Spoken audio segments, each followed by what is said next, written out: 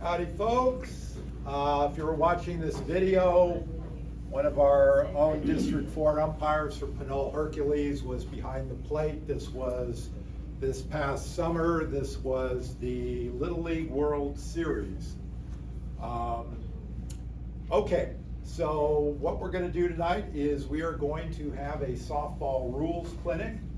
Uh, but first, uh, before we start speaking, I want to introduce uh, Mr. Phil Raines, District 4 ADA for softball, and he has a couple of things he wants to go through. Thanks, Jim. So, first of all, thanks for coming to this. Uh, it'll be painless. So, just hopefully you pick a few things up for the season. But real quick, I just want to go through a roll call. I want to see what cities are here. So if I, if you hear your name and your division, just give me a quick yo, and uh, we'll move on from there. Uh, I'm going to start with uh, Pinole. Is someone here representing the seniors? I'm representing everybody. You're representing everybody. Yep. Clayton Valley. Uh, someone here for the major team? I'm- Majors? yeah, me. Uh, AAA, should be three teams? All three of you guys different? Okay, perfect. And three double A teams? One, two, okay. Walnut Creek. Um, juniors, majors? Majors. Majors, anybody else from Walnut Creek? That's not good. How'd you find out about the meeting? Uh, coach sent me the email. Okay. I'm gonna be umpire. Richmond. Pittsburgh. Pittsburgh seniors? Okay, majors? Here, here, Okay, triple A? yo. Okay, double A? Perfect. East County? Seniors? Majors? Triple A? Double A?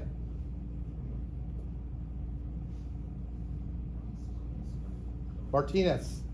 Seniors? Ma- uh, majors?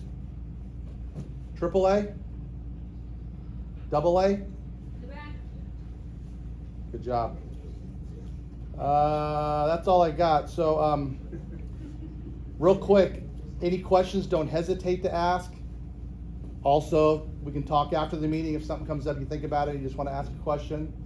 Other than that, uh, everyone should know how to get a hold of me during the season if something uh, comes up. Most of you probably have my phone number if you went to the scheduling meeting. Uh, and then as far as um, rules or anything like that, I'll do my best to help you out. Otherwise, I can refer to Jim as far as uh, asking him during the season if something comes up. Otherwise, uh, thank you for showing up. Okay, we'll work ourselves up. I also want to introduce Don Waddell. You want me to talk? Oh, God. Please, no. He can hardly wait to stand up. I know. Sorry, Jim, it was your meeting. And he said it was going to be painless. Yeah. Hey, welcome, and uh, I want to echo Phil's um, thanks for coming out on a wet night. I think it's just going to be wet until it stops being wet, right? But um, a couple things as umpire in chief for the district. My goal is really to help all the leagues have quality umpire programs. And uh, Jim is our assistant umpire in chief for the district for softball. So if you have issues about uh, umpiring, and Jim already said rules, you know, you should be going to Jim or go to me if you can't get a hold of Jim. I want to emphasize a couple things that are in in our district interleague rules about umpires. You know, to have quality softball programs, we cannot put untrained people out on the field. It's not fair to your players. It's not fair to the spectators. It's not fair to you as managers and coaches. So our interleague rules say for senior level, they need to be adults. So you need to be figuring out how you're going to find adult umpires working with your chief umpire.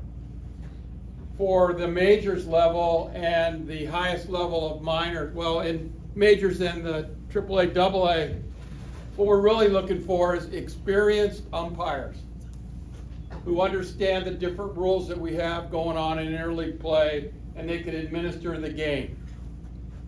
And they can make sure it's safe and that the game is moving quickly. Because as Jim will say and Ed will say, there's a time limit going on in some of these games. So really, um, these interleague games and you're even in your league softball games, this is not the place to take a parent out of the stands and put them on the field untrained. It's not really the right game to put a 12-year-old brand new youth umpire on. Pair them up with somebody who's very experienced and let's have some quality games. So I'm here to listen in tonight. I've already said too much, but I want to say one more thing. Uh, we had last year we had um, we had an umpire umpire at the Little League Softball World Series, Mark Oda from Pinole Hercules. Jim was an umpire in the Little League uh, Softball West Region Tournament, uh, along with Norm Downing from Pittsburgh. And this year, uh, we're lucky again to have uh, umpire from North South Oakland go to the uh, Junior Softball West Region Tournament in Tucson. So we have Steve DePetris. Congratulations, Steve, Thank you. for your assignment to that tournament.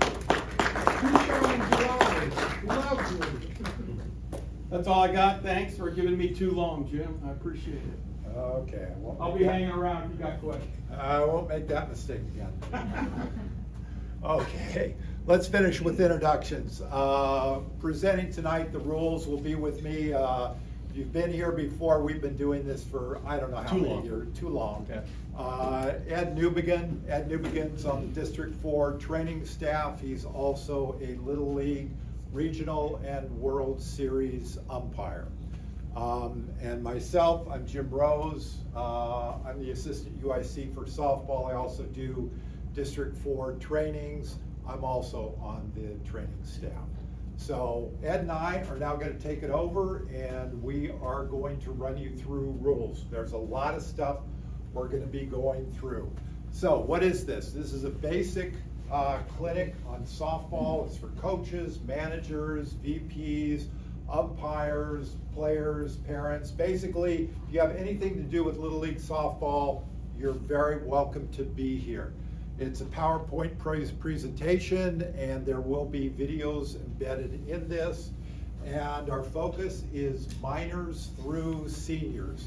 Unless I state otherwise, assume that if we talk about a rule, that rule is for all levels of softball from minors all the way up to seniors. So what are we going to go through today? Well, one thing we're going to cover is rule changes for 2023. Sometimes there's a lot of rule changes, sometimes there's few. There's not that many this year, so we'll get through that fairly quickly. We're going to talk about safety and equipment. You heard Don emphasize safety, and that's one of the things we are most concerned about in Little League is the safety of our players.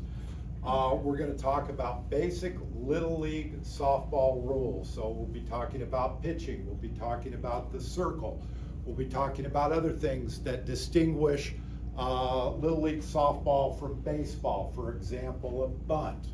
And uh, we'll also go through District 4 interleague rules, and we will go through those for seniors, majors, and also AAA and AA. How many people here will be involved at the senior level? Raise your hand. Okay. How many people here will be involved at the major level? Okay. How many at the AAA level? Okay. How many at the AA level? Okay, great. Okay. Okay, so um, there are embedded into this uh, presentation several question periods. So if you have a question, don't just shoot up your hand because unfortunately we're not going to take that question until we hit one of those periods. There'll be a slide up that says questions. We get to that, we'll answer any and all questions you had about that particular segment. So you may have to wait a little bit. If you want to jot down your question, go right ahead. And at the end, Ed and I will hang around here. So if you have any particular questions, we didn't answer a question well, please come to us and we will answer anything for you. Um, so wait to that point and please feel free to take pictures of any and all these slides as we go along. Have no problem with that whatsoever. All that we ask you with your phones, keep them on silent and don't hang out on your phone. Try to listen to the rules. Okay, this session is being recorded. Here we have the recording, and I want to thank uh, Shannon Self, Walnut Creek Little League, um, the UIC there, who has graciously volunteered uh, to record this. All our recordings of our video clinic, of our clinics, whether they're on Zoom or live, we put them on the District Four Umpires YouTube page. So we do actually have a channel, and that is the address there. So within a couple of days, probably, Don, within a couple of days, will this Sure, be up? Jim, couple of days. See, once again, I forgot, and I engaged him. We can edit that. Okay, so let's get started. Let's get going with rules. So I want to just very briefly go through the rules, um, what kinds of rules there are, because I think people who are new to Little League, they, they sometimes hear local rules, interleague rules, this rule, that rule, and we need to make a distinction between these different kinds of rules. So the first thing we have are the official playing rules. We have uh, books, one on softball, one on challenger, one on baseball, and those books go through the rules. There's a introductory section which has regulations. It talks about things like mandatory play, pitching, which is uh, regulation six, and then it goes through the rules one through nine. So these are the rules that Little League plays under. So I strongly suggest either get a rule book or you can actually get one on your phone. You can download the app and it has baseball, softball, and challenger. And there's all the rules right there and they're very easy to get to. So those are the rules that we play under, but those aren't the only rules. Um, let me backtrack one second for those rules. If you want to go through basic rules, and we're not going to talk about obstruction, interference here tonight, we're talking about specifically softball rules. So if you want that, you can go to one of our um, recorded sessions on rules. We've run three this year already, and we have one more that's coming up this Wednesday. Been a while since I lectured, so my mouth isn't quite used to it yet. Um, and they cover all the rules of baseball and softball. Again, go to that webpage, click on it. They're about an hour and 15 to an hour and a half. There'll be four of them. You'll get all the rules of baseball, a lot of videos that explain those rules. And here's that page. Here's our first three rules clinics. We also did one on teenage baseball. If you're going to do anything with teenage baseball, you can get that there. Okay, so those are the rules and regulations that we play by. Now we also have something called local rules. Little League has about 10 to 20 areas in the rule book where they give a league an option to do something or not do something. And each league decides, well, we're going to do that, we won't do this, we'll do that. Those are local rules. Every single one of your leagues should have local rules on their website. They should be accessible to you. Now, what's also considered local rules are interleague rules. Interleague is actually considered its own local uh, league. So Interleague has also decided on those points. For example, courtesy runner. Courtesy runner is a local option. You can use it or not use it. So find out if your league uses it. But for interleague, we will be using uh, courtesy runner. Are you going to enforce the rule of one foot in the batter's box or not? Again, local rule. And in interleague rules, as we go through, you'll see that we've decided all these things. Now, can you have a local rule that contradicts the regulations? No, you can't. Like for instance, can you just arbitrarily decide, hey, we're gonna change the pitching distance? Well, to do that, you need a waiver and it has to go all the way up to headquarters in Williamsport to get approval of that. So, what do we have so far? We have the regular, we have the uh, playing rules, we have the local rules, and we also have ground rules. rules. Ground rules are just those rules particular to a particular field. And this has to do with where is the dead ball area? What if a fly ball hits that tree out there and drops into fair territory? Is it a dead ball? Do we play it from there? Every single field that you play on should have ground rules. They should be written out. And if you're doing interleague, they should have been sent to uh, Phil Raines. And he should have access to that. So when you're playing on a field, learn that kind of stuff. What are the uh, ground rules? So those are our rules. So now we're going to go through the new rules for 2023.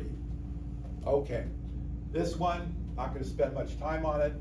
What this says is that in seniors baseball and softball, you do not have to play a mandatory number of games to be eligible for the postseason. That means that you can have a senior softball team play zero regular season games, and then when All Stars comes up, you can play in All Stars. That's only for the senior division, no other division. So you don't have to be worrying about, oh, we got to get that mandatory number of games in. Senior division, you do not have to. Okay. Defensive uh, bands that are for defensive players that go around the arm or the wrist, play calling bands. These are now allowed in Little League and they have to be worn on the arm or the wrist. They cannot be worn on the belt. They can't be tucked in somebody's pocket. So if you want to wear them, they have to be on the wrist. For pitchers, they have to be on the arm that's the glove arm. And for pitchers, they cannot be white, gray, or optic yellow. That's kind of important because some of these uh, uh, play calling bands actually don't have covers but have a white part to it where all the plays are. That would be illegal in Little League Baseball or softball. It has to be either something covers it or it's not going to be in white, optic yellow, or gray. Hair beads. Finally, finally, Little League is allowing hard items worn in the hair to control the hair are allowing those and they are now legal. Up until this year, year they were in fact illegal.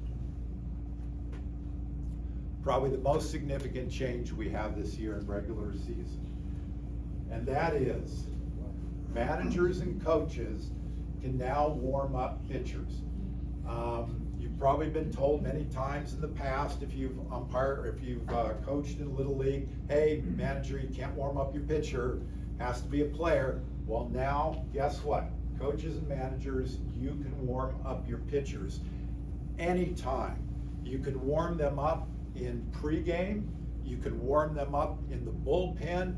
You can warm them up in between innings. As your pitcher comes out, your catcher's getting the gear on, you as an adult coach or manager can go out there and you can warm up your pitcher. However, what has not changed? Rule 803A has not changed. What that means is that we still have one minute between innings. The second the third out is made of one inning, the next inning begins. You have one minute. The pitcher is limited to no more than eight pitches. And if they've already pitched, usually as umpires, we only allow that pitcher five or six pitches. So if your coach comes out, takes five pitches from that catcher, then your catcher comes out, and there's a real good chance your catcher isn't going to get any uh, warm up pitches. So be very aware of that. And adults warming up pitchers will not, uh, this will not be allowed in all stars. This is simply a regular season rule. So don't get too used to it. And no safety equipment is required. That's on you guys. Okay, the run rule. The run rule. We've had the run rule in the past.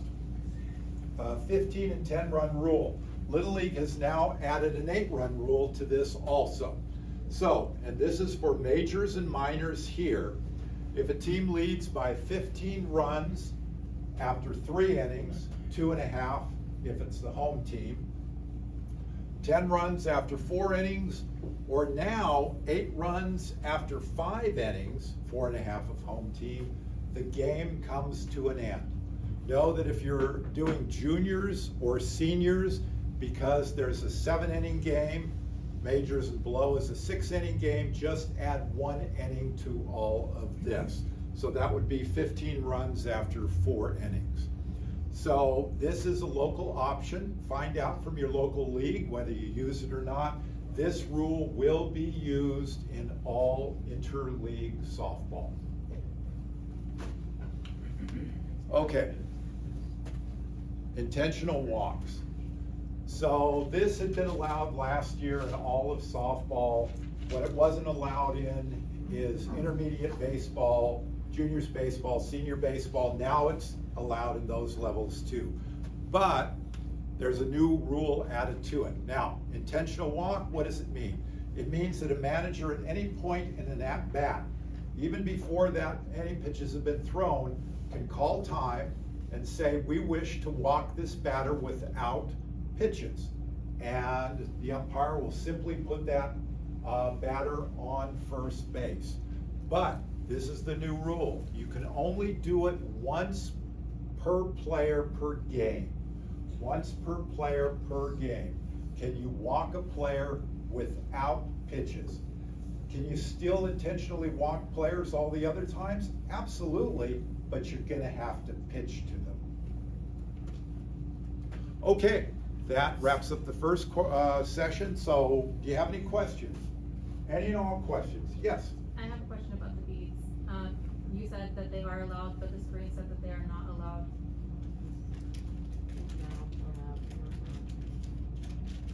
allowed. Oh, sorry. Sorry.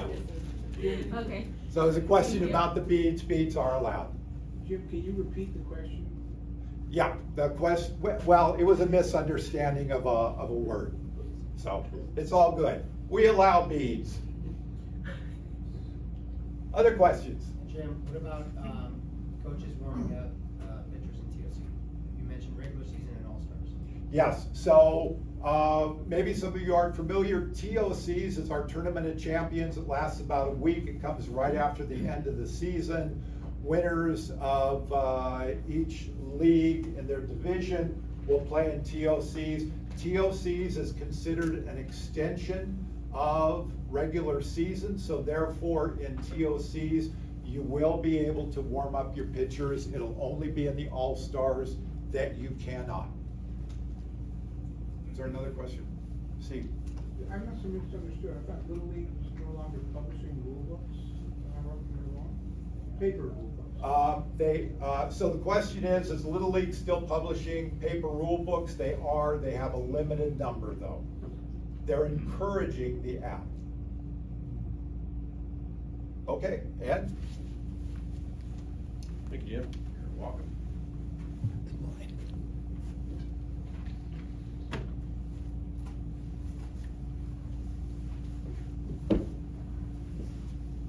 Good. Did I turn it off? Now you did it. There we are. Okay, Go back here. All right, we're doing regulations. So as Jim said, my name is Ed Newbegin, and I'm a member of the District Four training staff. And the first thing I want to do before we get started is ask, how many of you are doing this managing or coaching thing for the first time? Congratulations. It's quite a ride.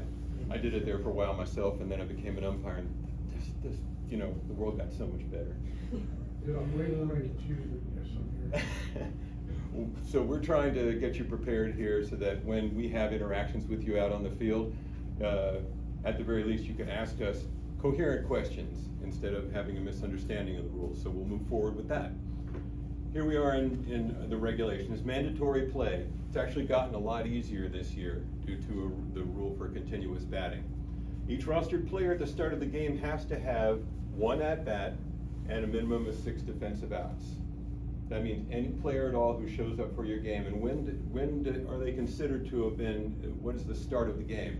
The start of the game is when you present your lineup cards to the umpire.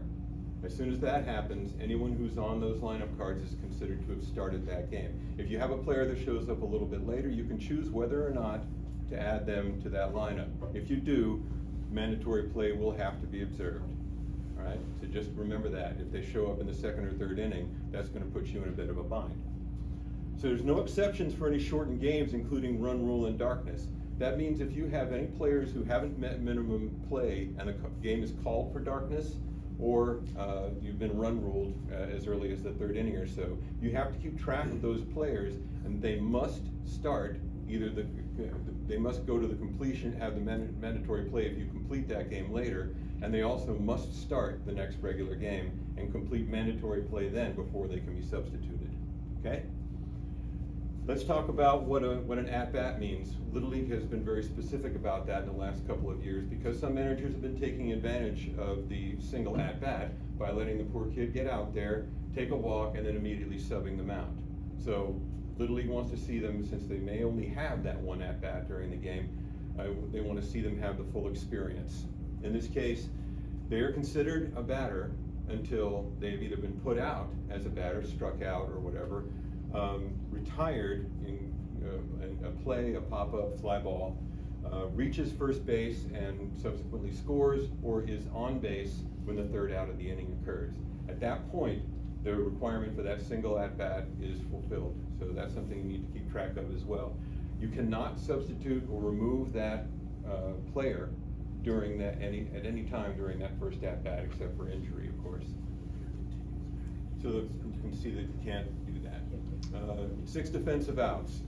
You're not required to do those consecutively anymore. They just have to add up to six total outs in the game. So if somebody starts, doesn't have enough, comes back in, gets substituted for, and comes, well, there's no substitutes, it's a continuous batting order. So when you substitute another player in, if you do it before one of your starters has gotten uh, six outs uh, when your starter defensive, you have to make sure that that starter gets a total of six. And they don't, so they don't have to be consecutive outs. In the minors, uh, that the, the question has come up before. So you have five-run innings. Um, if you get to a five-run inning and everyone's retired, even though an actual out hasn't been recorded, that is considered for the purpose of the rule as being three outs. So before the game starts, this is something that we, the, the situation where the umpires have first um, entered the field. We're usually there about a half hour earlier, so half hour, 20 minutes early. What we want to see is on that field, inside the fence, only managers, coaches, players, and us. The Little League feels that we don't need to have a whole circus out there with parents, siblings, things like that. Makes your job a little easier too because there's less people to, to uh, keep track of. Uh, only three adults per team are allowed in warm-ups uh, during warm-ups. That's that's at this time before the game. Non-competitive minors in T-ball can have four adults. Uh, you, so you can, you can have your three rostered adults, and then you can bring in one of the team moms or dads to help out honestly, you know, with T-ball, they're not too worried that you're that there's going to be actually you're going to need that many adults most times at T-ball just to keep them all corralled. Um, interleague minors, though, uh, by interleague rules, this is the difference right here. The interleague minors only allow you to have three adults. Players, any player who's holding or near a swinging bat or bats at all must wear a batting helmet in warm-ups, and we'll see a video in just a moment that uh, shows you why that's so important. During a game, only players, managers, and coaches in the dugout. Again, we don't need siblings and parents wandering in and out asking if Johnny wants a snack and things like that. They need to have, you need to emphasize to your parents that all that has to happen before the game starts. Make sure that all those snacks that are required, if there's some sort of emergency that requires the child to be to, to be cared for by an adult, um, problems with uh, insulin or something like that, have the coach contact the, the parents out there and, and, and remove the player from the dugout and have them tend to them out there. Um, an adult coach or manager has to be in the dugout at all times. This is for, for monitoring a couple of things, making sure that your players are paying attention, that they're not wandering out, that nobody's coming in who's unauthorized, and something that's a, a kind of a bug for us, nobody in that uh, dugout should be picking up bats you know, on the offensive side until it's their turn to bat. make sure the bats stay in the racks. We don't need any accidents in there because they don't, may not have any control of it, and nobody in the uh, dugout other than them is wearing a helmet. So players can only be on the field, in the dugout, or in the bullpen. And wandering around, you never know what's gonna happen. In your local games, everyone feels nice and comfortable, but, you know, kids disappear from their own front yards sometimes. So let's just make sure they stay there. That also keeps the, the, the, uh, players focused on the game. So, you see us in the field, everything's been cool, so we're gonna come out and inspect your gear. We're gonna ask that you have that gear out in front. That's gonna be helmets, bats, and uh, just the catcher's helmets. You you don't have to have the full catcher's gear out there. Um, Things like straps on their uh, shin guards and on their vest, we just assume that you're gonna keep those in good repair uh, so that they can actually wear them. But catcher's helmets, batting helmets, and bats should be out along the fence so that we can come by and inspect them before the game starts. This is what I'm talking about for the dangers of swinging a bat in the dugout. Alright?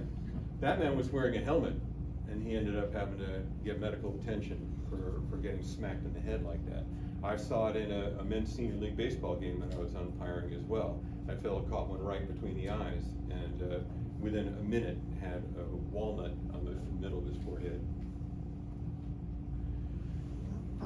Shoes, anything majors and below, have to have plastic cleats, nothing metal.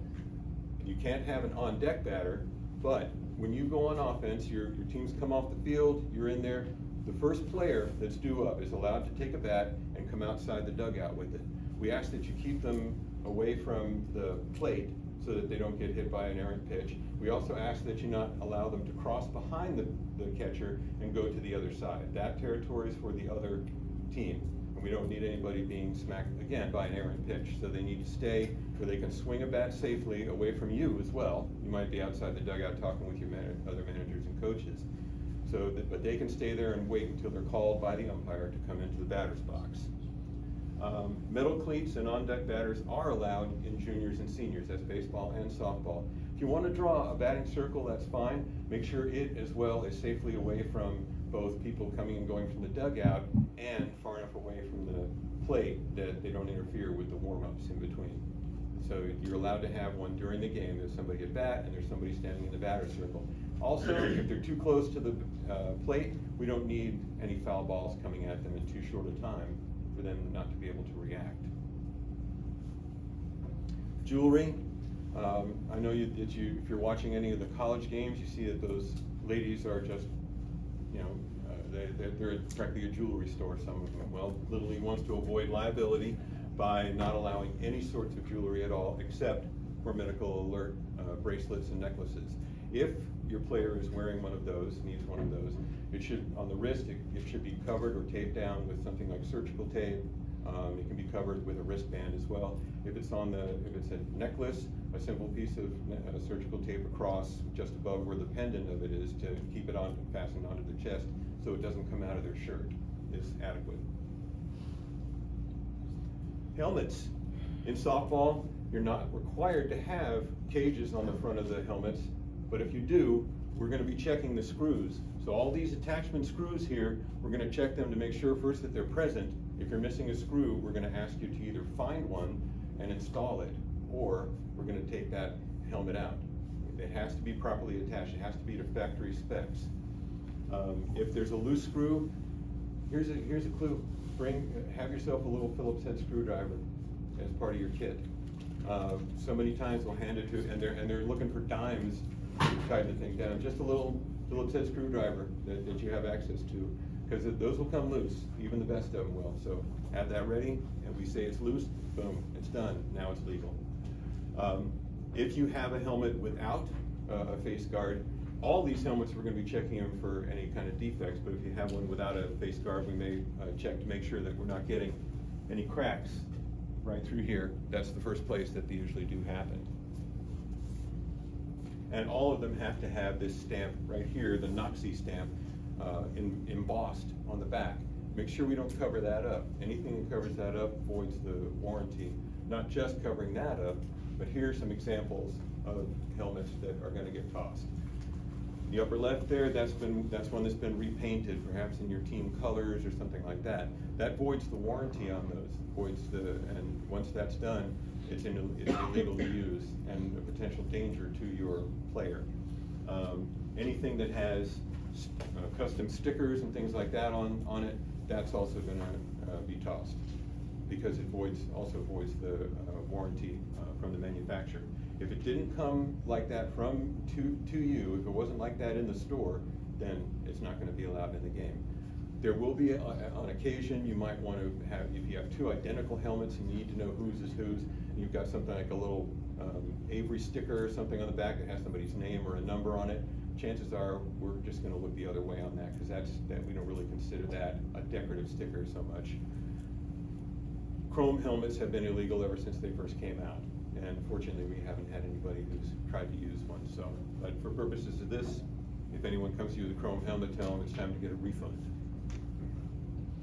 Catcher's helmets, the two different styles here, We've got the traditional one here, and um, also I want to talk about batter's helmets. We are going to be checking your pads on that too.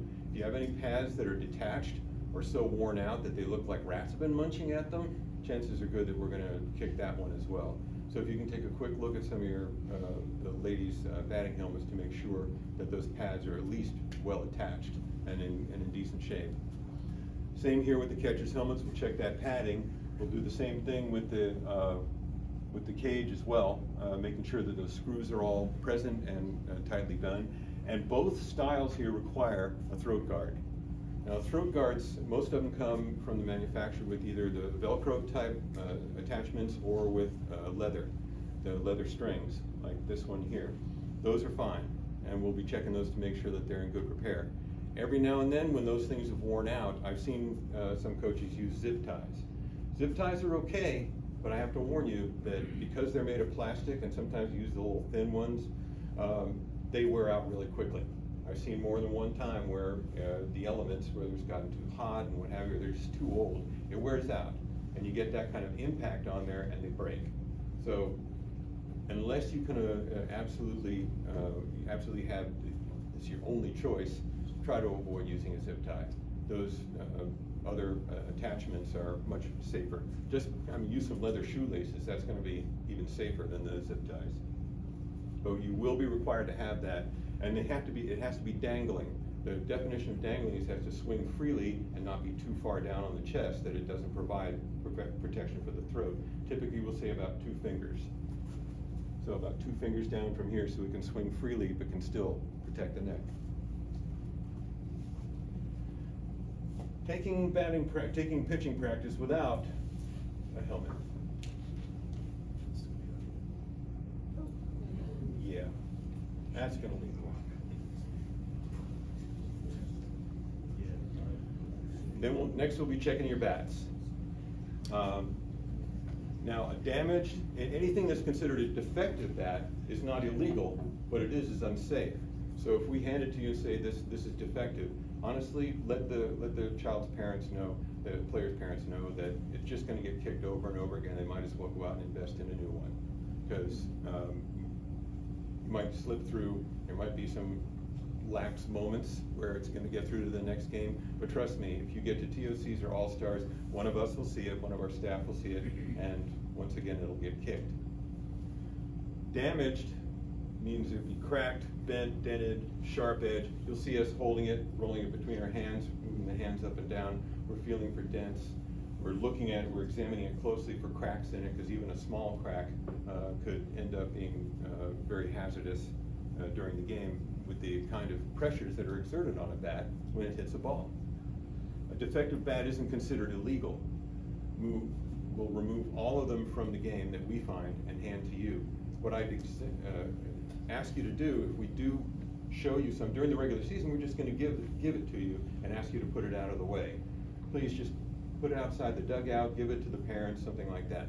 During All-Stars, if we find one, we ourselves present it to the tournament director and they put it in the score, in the score booth for you to uh, come back to later. If you abandon it there, that's probably for, for the best, because you're in tournament now and it's gonna get kicked every time you try to put it out there. Trust me, we've seen it before.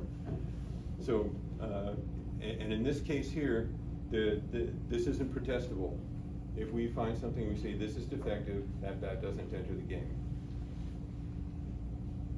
And why do we care so much? This is something I actually saw in a varsity game over at Acalanes.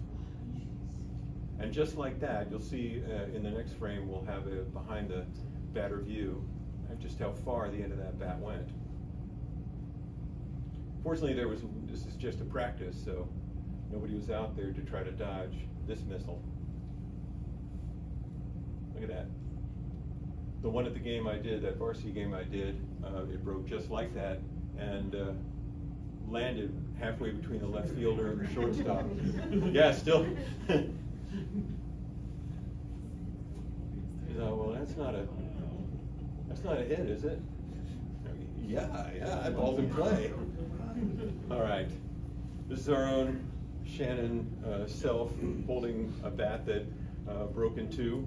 Uh, you'll see sometimes that with these two-piece bats like that, we'll hold it and, and give it a bit of a movement. If we feel any give in it at all, we're going to call that a defective bat. Illegal bats. This is where some trouble could happen and actually did in a tournament game that we did. If we find a baseball bat, that's gone. Wrong sport. An altered bat. This one is kind of harder to tell, but if we if it looks like there's been anything done to it, like removing the end cap or something like that, if it's been rolled or frozen or something like that, there's some umpires that can tell, but this isn't travel ball, so I don't see as many of those.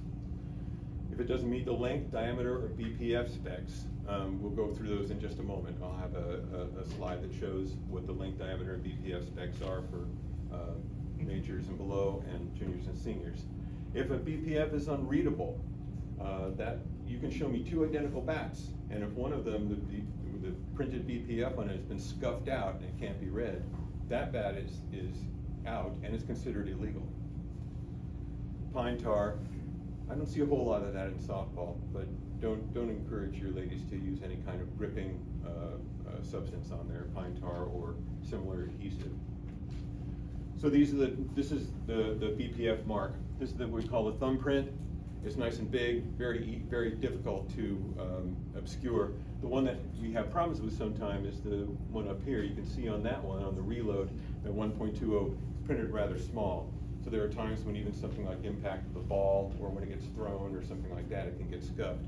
So if that becomes illegible, again, you can show me two that are exactly the same, but if I can't read that 120, it's not in.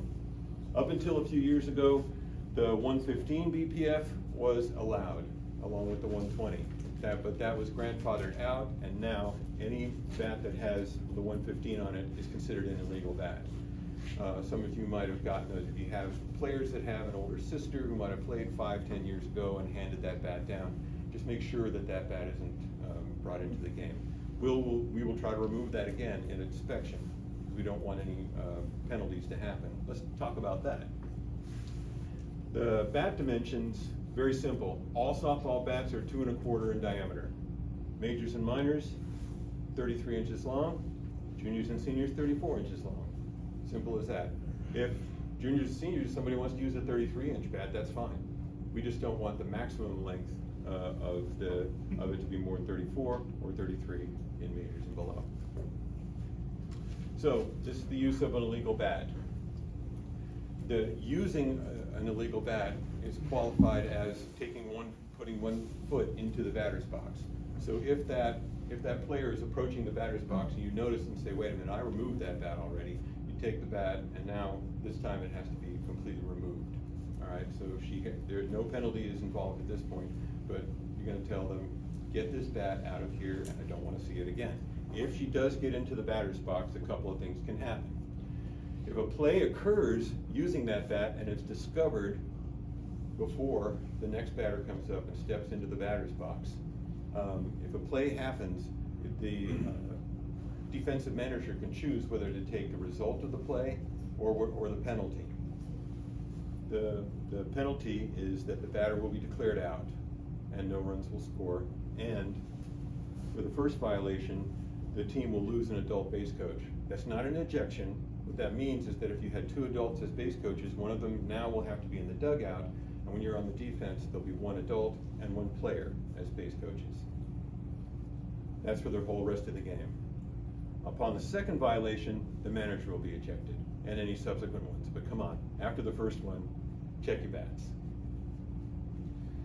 Please be aware of the bats that your players are using. Uh, we are the last line when we inspect it. You're the first line. Um, batting donuts, those have been uh, illegal in Little League in every division forever. You are allowed to use the sleeves, however, so no batting donuts at all. Okay, any questions on these? Yes.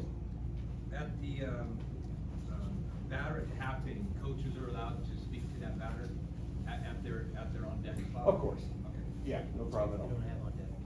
Of course. Well, I mean, that, that first, I mean, if, if you're in majors, he's allowed to be out of the, he's allowed to be out of the dugout, so yeah, your coach can talk to him. During that time when you're in in between innings like that, make sure even then that you have at least one in the dugout. I've seen a lot of times when the manager and both coaches will come out and have a little powwow out here. Meanwhile, all heck's breaking loose in the, in the dugout. Let's just make sure at least somebody's in there monitoring that. Anything else? Yes, sir. Yeah, exactly. Catcher's mask or throw guards required? Yes. All, all catcher's masks of any type, the bucket and the regular. Okay, and then field masks, is there a problem with stickers on those?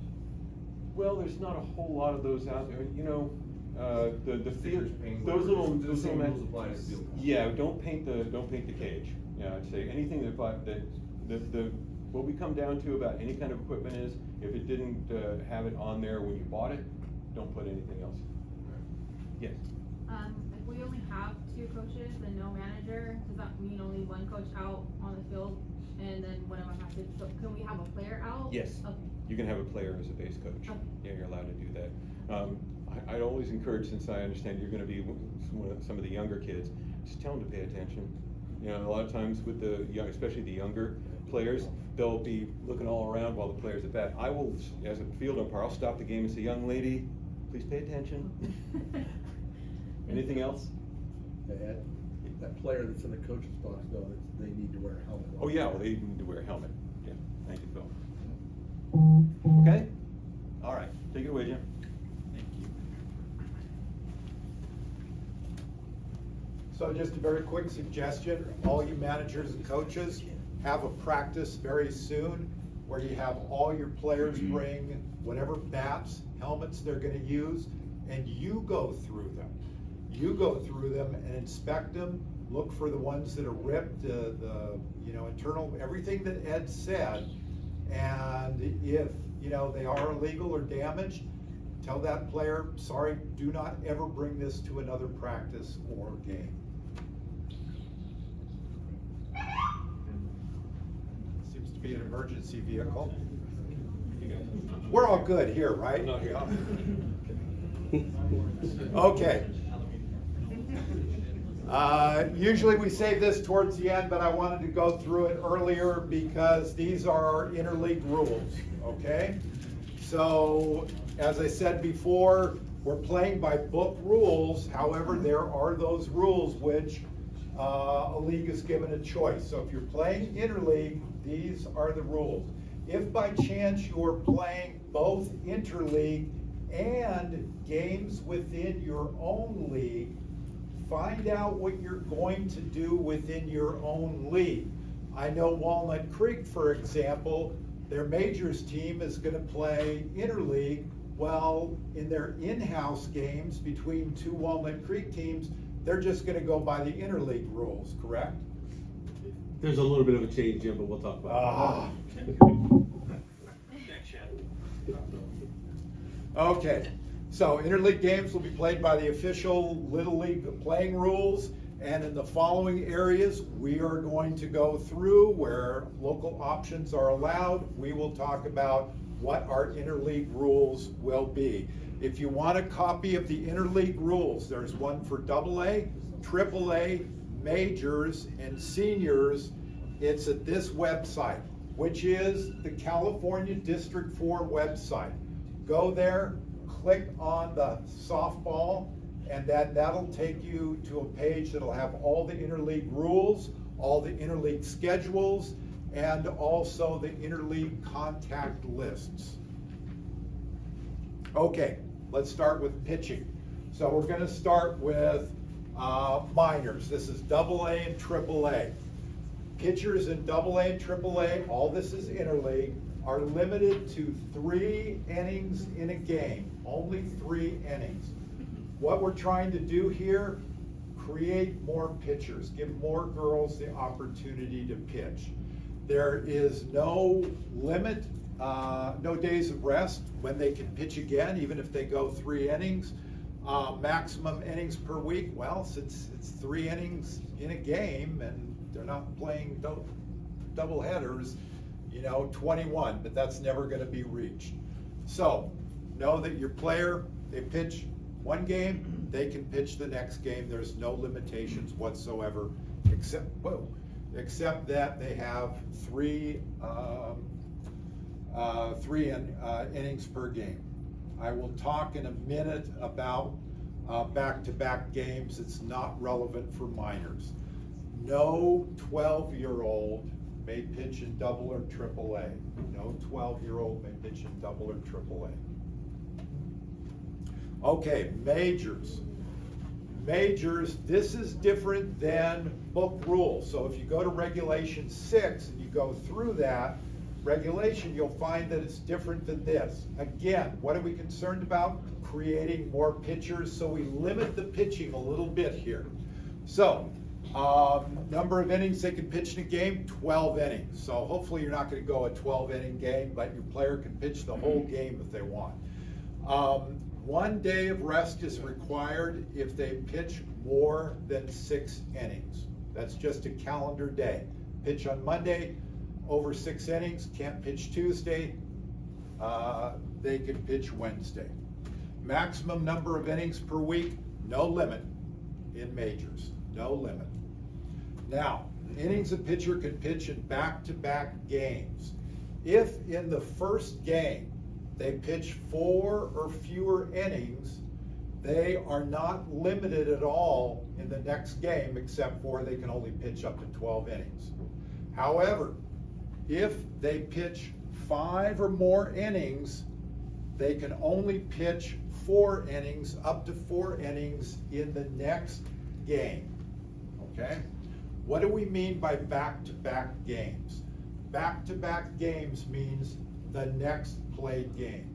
So this doesn't matter if the back-to-back games are on Monday and Tuesday or are on Monday and the following Sunday, that is a back-to-back game. So no, in majors, anytime your pitcher pitches five or more innings, the next game they can only pitch up to four. Umpires will greet you at home plate, we will exchange lineups, and we will ask you, do you have any pitching restrictions? This is exactly what we're looking for. And you'll announce to us, oh yeah, I had, you know, Alyssa, and she pitched this many innings, so she's limited to four. We need to know that at the beginning of the game. Seniors, they can pitch 12 innings in a game, no days of rest required, no limits for how many they pitch in a week. Remember, these are seven inning games for seniors. Once again, five innings or less, they can pitch up to 12 innings the next played game. If they go six or more innings, they can only pitch no more than five. Again, why are we doing this? Developing more pitchers' arms. And again, back to back, it's the next played game. So, when we have that meeting at home plate, make sure you alert us if there are any restrictions on your pitchers. Okay.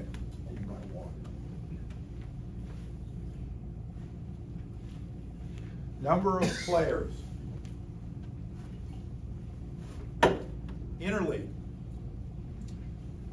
You can start a game, continue a game, and end a game with eight players. What do you do the ninth batting spot? You just simply skip over it. It is not an out.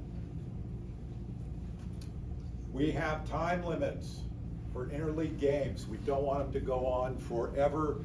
And a lot of times on Saturdays, we have games stacked up, so we need to have some kind of time limit. What are those time limits? Hour and forty-five for minors and two hours for majors and seniors. What does a time limit mean? It's not a drop dead. What a time limit is, is that no new inning may be started after that time limit is hit. If an inning has begun before the time limit hits, you simply complete that uh, inning.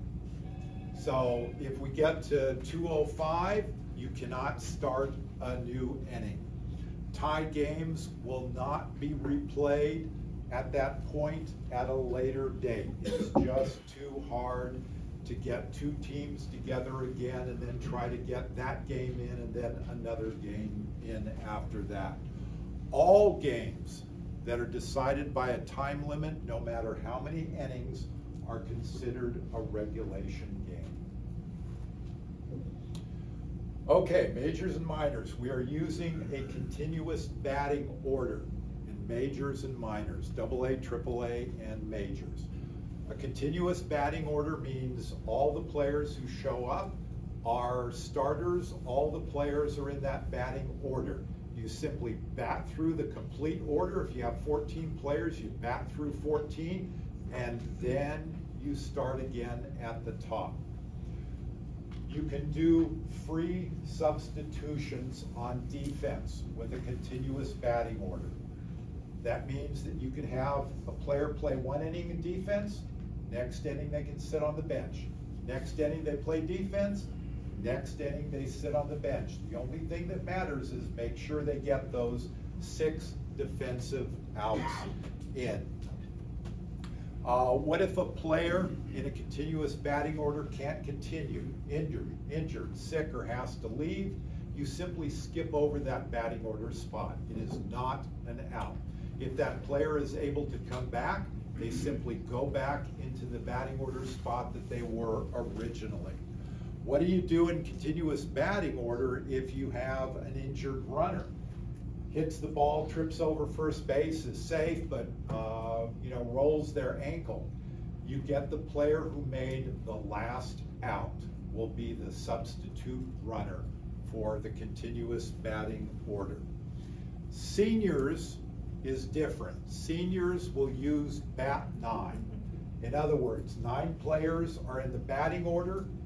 Everybody else is a substitute and sits on the bench until the substitutes then come in for the starters.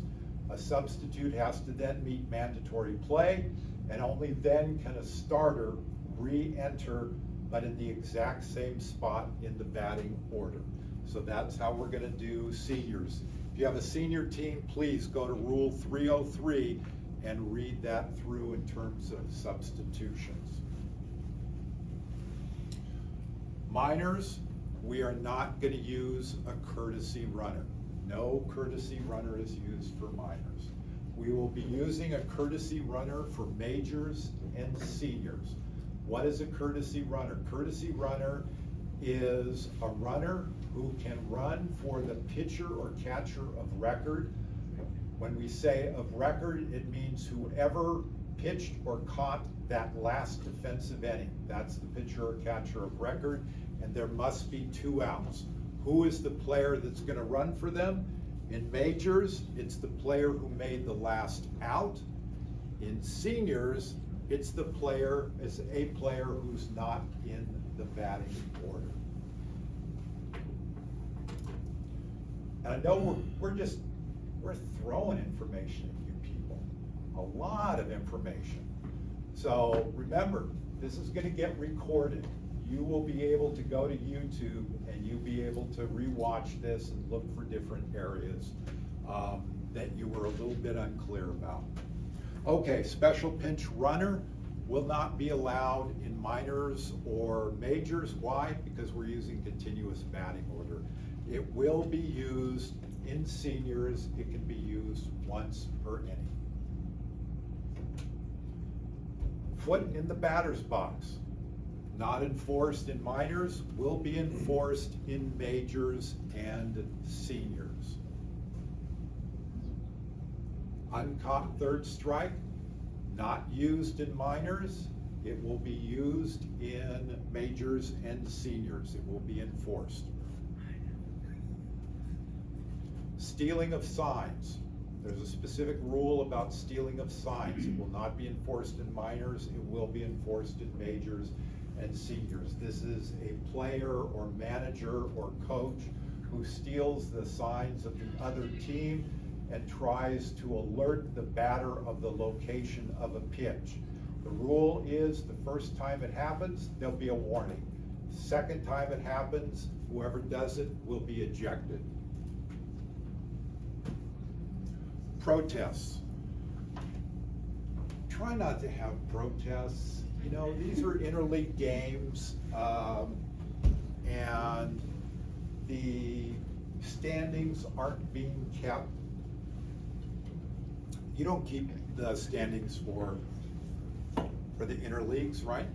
No, only the cities that have their own group of teams keep track of their win-loss records for TOC purposes. Yeah, so it's only gonna be the, you know, your league that's gonna keep track of this stuff. Interleague's not going to. So you can file protests. What can you file protests over? Only interpretation of a playing rule, and that has to be, that protest has to be done before the next pitch play or play, or an ineligible pitcher or player. How do you do a protest? You tell the umpire, I'm protesting this game because of this, you, this player shouldn't have been pitching. And then after the game, you need to email Phil Raines, there's his uh, email address. You have to email him within 24 hours. Two days if it's a Saturday game. He will then decide on the protest. His decision, final. Okay. Most of you from when I asked earlier are here for double A and triple A. We don't have any particular rules beyond what we've gone through for majors and seniors. So now what we're going to do is we're just going to talk about AAA and double A, okay? Because these two levels have rules that are different from the rule book. And so that's why we need to go through these. Okay, in minors, a half inning is three defensive outs or five runs are scored. And as Ed mentioned earlier, if you have five runs, that's equivalent to three defensive outs. The sixth and subsequent innings are unrestricted runs. Now, a lot of times folks think, oh, this is the last inning we're going to play. We're only going to get four innings in today. So the fourth inning, we're going to do unlimited runs. No, it is only unlimited for the sixth or any subsequent inning. We get rid of that five-run rule. Only nine players are allowed on defense. This is not T-ball. Regulation game is two innings. I guarantee you, you'll probably, and you should, and you better get more than two innings in in one of these games, but early in the season in a double A game, it could get, it can be maybe a little bit difficult. But a two inning game is regulation in minors. Yes. Just real quick on that two inning deal, um, it could happen, because if you play a game on a weeknight or something and you're in the second inning, you finished it, and all of a sudden you got a downpour, it's gonna be an official game no matter what, what the score is after that point, so it could happen in that scenario. Yep. So it reverts back to the inning before?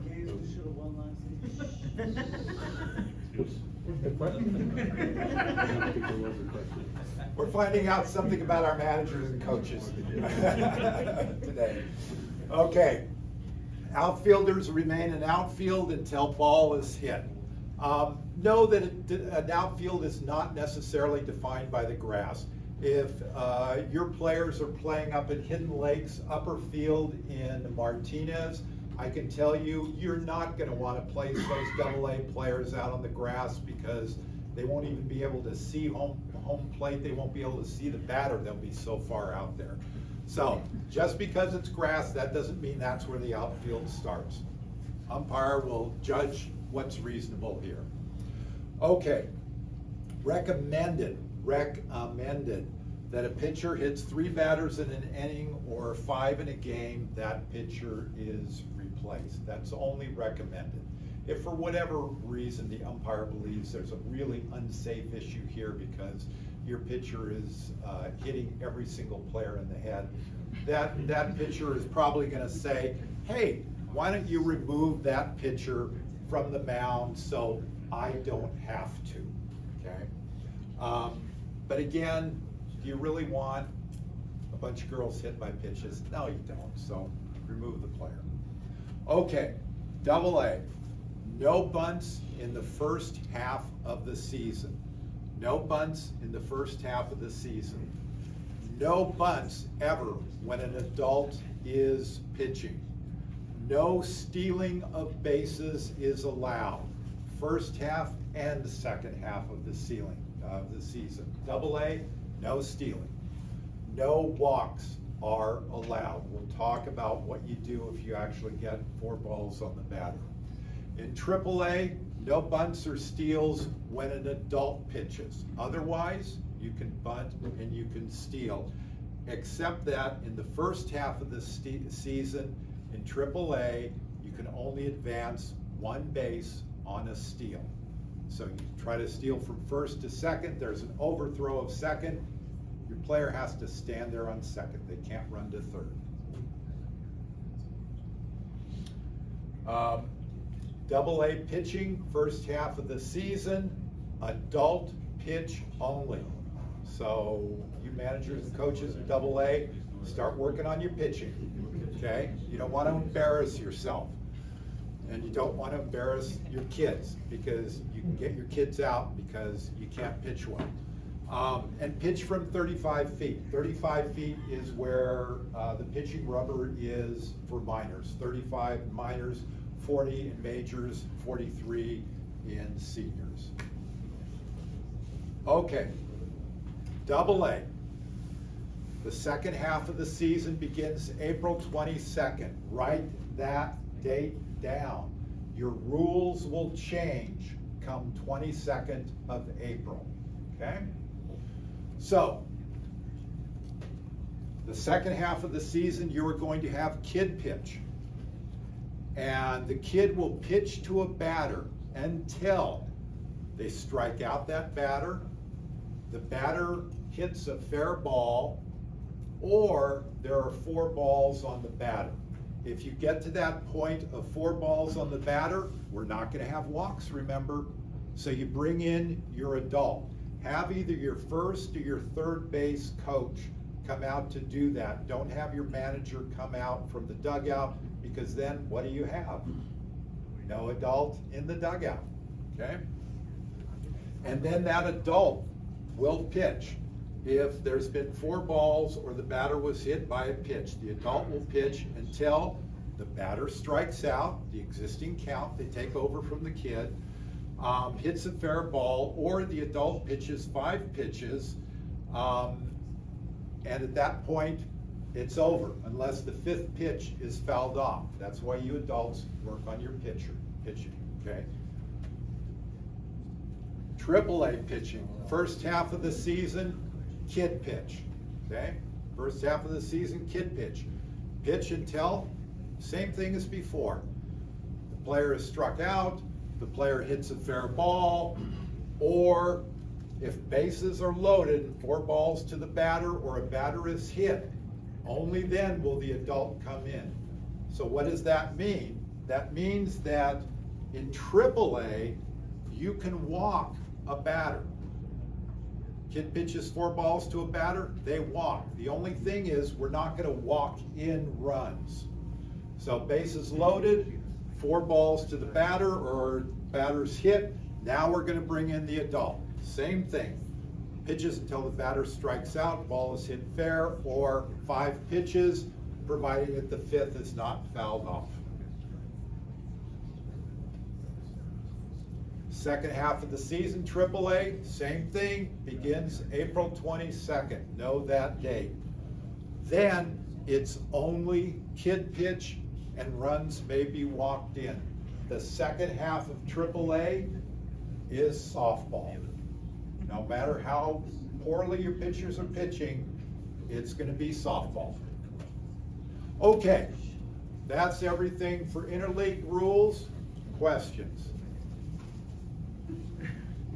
Yes, Shannon?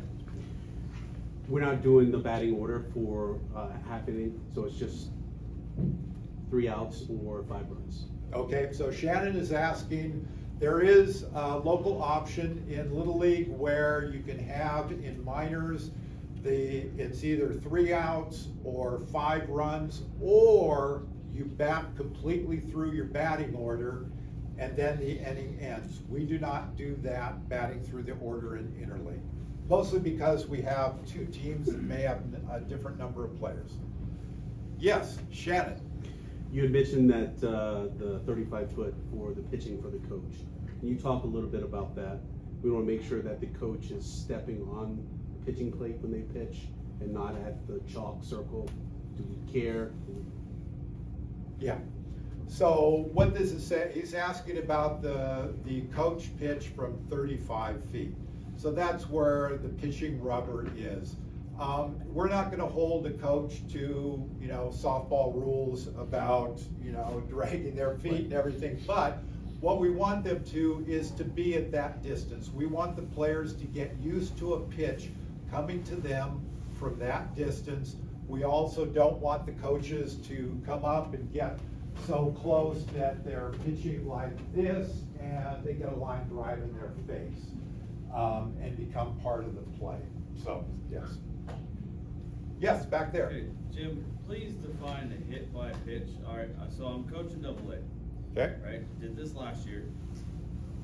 We had an umpire who said hit by pitch was a ball where the pitcher literally rolled it and the batter could have gotten out of the way, but she didn't and it hit her foot.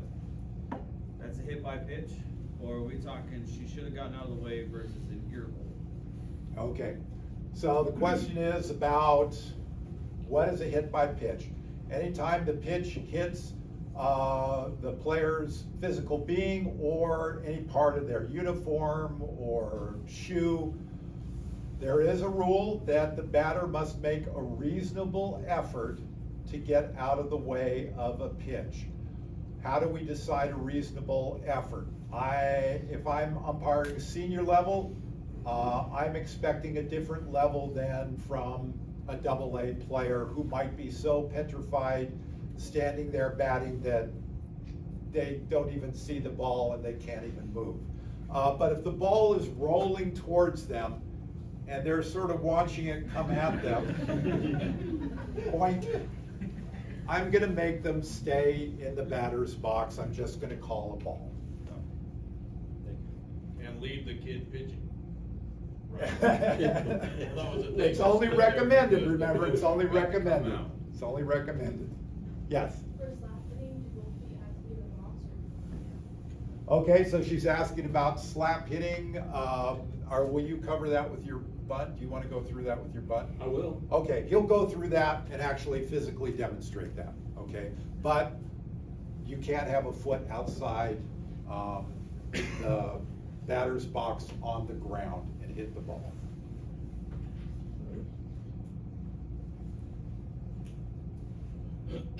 You can't have a foot, if you hit the ball, you can't have a foot completely outside the batter's box on the ground. That's gonna be an illegally batted ball and the batter will be out. It can be in the air, Just at the point of contact, right? Exactly, at the point of contact. There was another, you, we'll go here. Yeah, for the seniors, you said they're batting nine, no continuous, right? Correct. Can that be a local rule though, that you could do continuous and, and the two leagues like agree to that? Okay, good question. Uh, so in senior, can you make a manager's agreement? No manager agreements are allowed in interleague uh, softball. So it has to be bat nine. Uh huh. Yes. Uh, the first slide, you said a rule change about seniors. There's no minimum to make an all-star team. Correct.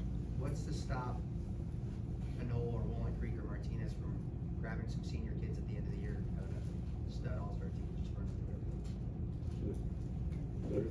What's the question? The question is because there's no mandatory, there's no, in, in two ways, there's, the, a player doesn't need to play a mandatory number of games, and the team doesn't need to play a mandatory number of games. What keeps a team from just grabbing a bunch of uh, high school girls and forming a team? Is that your question? Or, I mean, they could be thirteen-year-old, twelve, uh, Right. ball kids. Right. Whatever. Yeah, what's to stop them? Nothing. So how is this? And gonna nothing interfere? pretty much has stopped them. Okay. Just know that this is, well, I don't want to go into that. I'm not going to go into that, but no, nothing really stops them. Okay? Jim, I got something to say. So earlier we talked about the uh, pitching restrictions in seniors and majors.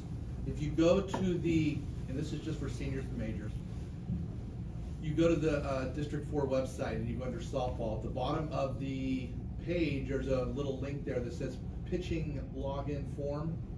You guys need to have that in your binder and present it every game at home plate just to show that you're pitching from your last game, so there's no questions, no animosity, it's right there, plain as day, you can see his, he can see yours.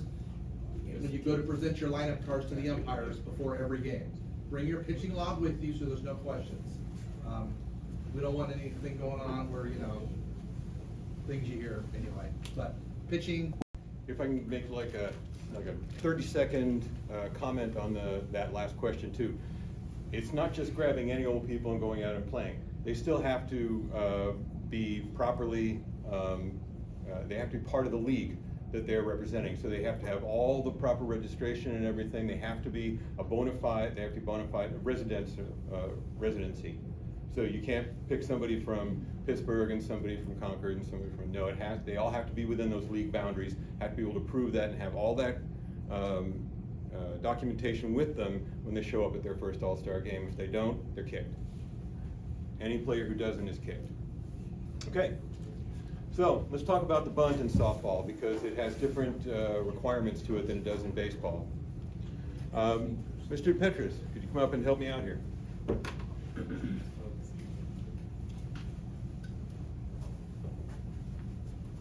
Here in the left-hand batter's box. So in softball, as the, as the ball's coming in and the, the player turns, squares around for a bunt, first of all, as an umpire, the first thing I'm glancing down is their feet to make sure that they're still in the box. As the pitch comes in, as it approaches the bat, if she draws the bat away as the, as the ball approaches, I can, I only judge at that point whether it's in the strike zone or not. I don't consider that a swing. It can be as close, come on up, and stop. It can be as close as an inch away from the bat. But if she follows it back as it goes, if, go ahead, she follows it back like that and makes no actual physical attempt at it, then that's gonna be, that's gonna, that's gonna be only judged on whether it's in the mm-hmm. zone or not. Now, if the same thing happens and she's out like so, underneath, if it- and she's like this, and it just passes it and then she draws it back, as soon as it breaks this plane, that's an attempt. And I'm gonna call that a strike regardless of where the, where the ball is. We all get that? Okay.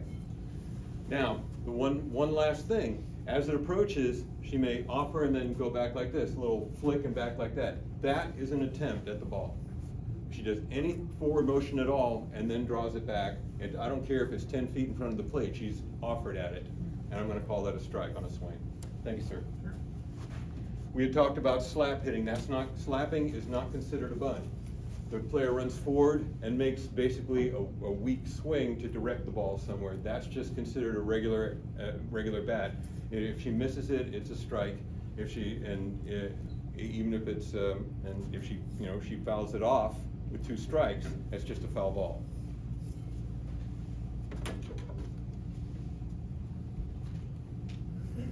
Double first base. Um, do you all know whether uh, your league is using double first bases this year? Got a show of hands on that? Okay. All right, just, we're gonna go over this real quickly.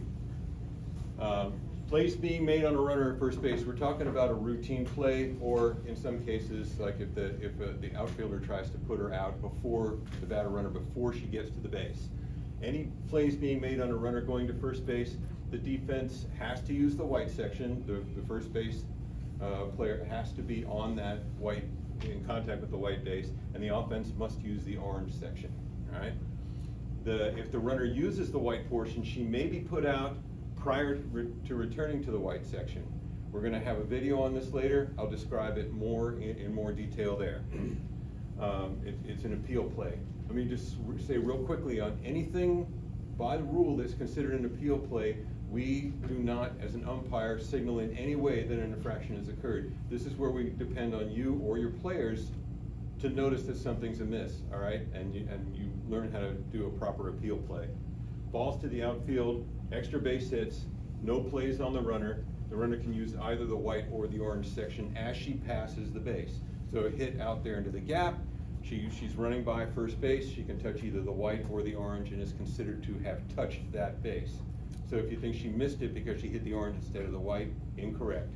That whole base is live and okay for her to touch as she passes. Now, she passes by, decides to return, if they try to, try to uh, double or, or get, uh, throw in behind her, she has to return to the white base in that, in that uh, section. Basically, once she passes the base, the orange base disappears.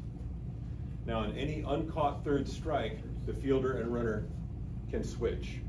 Right, so now the, she's, she's, um, she, standing there and the, the ball gets by or the catcher drops it, the batter runner takes off for first base. She can go to either the white or the orange base. This is in order to let the fielder use either side of it to field a throw that's coming from behind the runner. It also happens on pass balls. She can, so in- in that situation where, with that, uh, where the catcher is trying to, is throwing from behind her to try to put her out, the batter runner can go to either the white or the orange base, based on where she sees the defensive player playing. This one's gonna be the potential play at first. Now, we're, now, anytime there's a, there's, a- you've got that double base and you've got a player who runs to that bag, it wouldn't hurt your, somebody in your dugout to just make sure that she steps on the right one.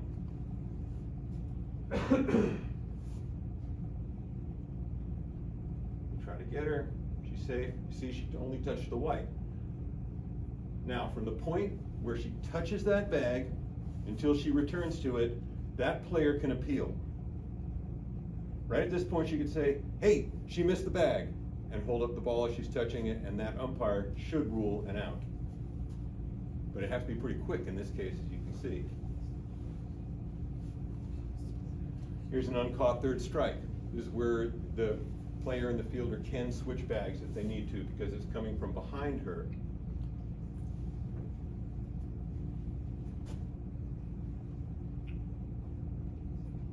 So you see, if she had to throw to the white, she'd conquer, even though she's running properly in the running lane. So they get to switch bags in that case, for safety's sake. That's why they call it a safety bag as well, safety base. Once again, returning to the white base, and Jim, we gotta, we gotta find one where the, where the umpire's paying more attention. There are gonna be a couple of clips in here where we, we don't look great. And this is the first one. Because we're human too, right? This guy, great, he's right on top of it. Hey, safe, she got, she got back. Now she's standing on the orange base. Pitcher notices, tags her. Hey, what about this? Uh, yeah, she should be. Let's take another look. I got From a different angle. Blue. Quick say. Okay, so she's safe there. Good call. He's watching it, he's watching it, he's watching it. Okay, time for a nap. Oh, yeah, beautiful.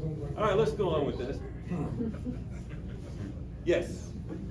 A quick In that question. video, you had a pitcher that was wearing sunglasses. In softball, is there the same rule that pitchers cannot be wearing uh, sunglasses?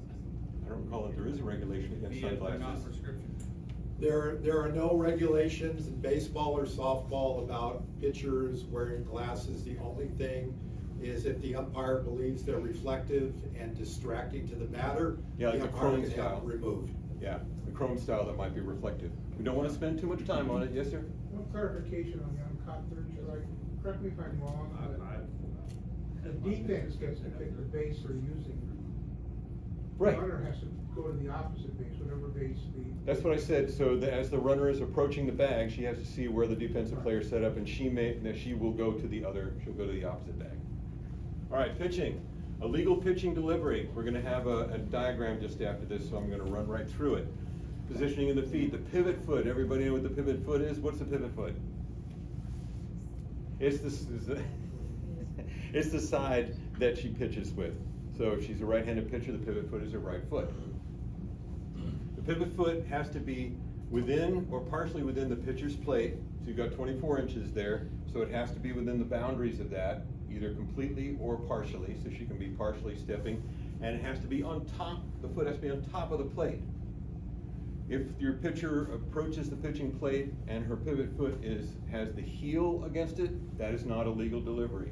That's, that's contact with it in, but not legal contact. She has to step back and have that heel. So it's specifically written into the rule on top of the plate. That's the pivot foot. The non-pivot foot can be on the plate as well or behind it, but it also has to be within the confines of that 24 inches or partially within it. So if I'm looking from behind, I'm gonna see at least half of that foot in line with the edge of the pitching plate. Shoulders aligned with first and third bases, so in other words, she's square to the plate.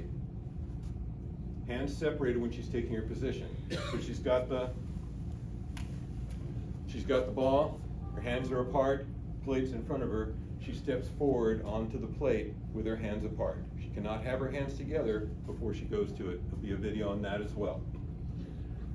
Taking signs, hands also are separated. So she's on the plate and she's looking in for the signs. She has to have her hands apart. This is to help prevent quick pitches. So these are the various positions of the feet. This is the most, most usual one, the upper left one here, where the pivot foot is on the plate and the non-pivot foot is behind it. Does not have to be in contact. It can be, but it's not required. Can have both feet on the plate. Uh, in both these cases, either both heels or both sets of toes, or she can even have the non-pivot foot slightly ahead of the pivot foot, as long as it's within the confines and on top of the plate. Illegal, this is both feet off. In this case here, the non-pivot foot is in front of the plate instead of behind it and, and off, the, off the rubber.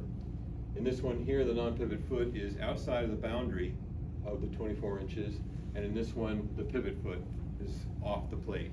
It has to be in contact, at least partially.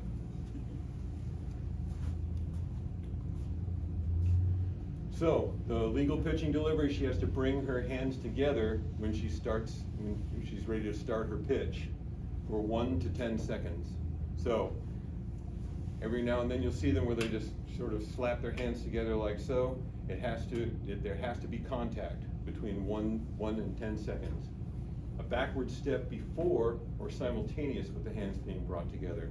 So she can't be standing there, put her hands together, and then step back. It has to be simultaneous.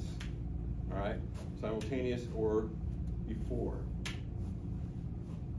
The pitch starts when one hand's taken off the ball. In other words, the ball is in, in their right hand if they're a right-handed pitcher, and they, they've done their step back. And when they come up and around like so, when that hand separates, that's considered the, the pitching delivery has begun. So she can't step off at that point, she has to complete the pitch. You did your wind up, Go you back. bounced one forward. Yeah, go back a slide. Um, yeah, I was trying to do this. Forward step with the non-pivot foot. So the pivot foot remains on the rubber, and as she steps forward, she, she, she steps forward with the non-pivot, and then the pivot foot remains in contact with the ground all the way through the delivery. So she comes through, that toe has to drag. There has to be a drag. If it, if it lifts off the ground at any time, that can be in- considered an illegal pitch. We'll see some examples of that. An underhand, has to be an underhand motion, and as an underhand motion, the ball, it it come, the, the pitch comes around, and it has to be with the open part of the hand towards, coming towards the batter. You can put spin and what have you on the ball, on the release, flicking it like so, or like so, to give that, that spin left to right, yes? But you can't come around like so and release the ball like so, and for, and flip the ball like that. It has to come forward like so with the open hand, and then whatever English needs to be put on it is done that way.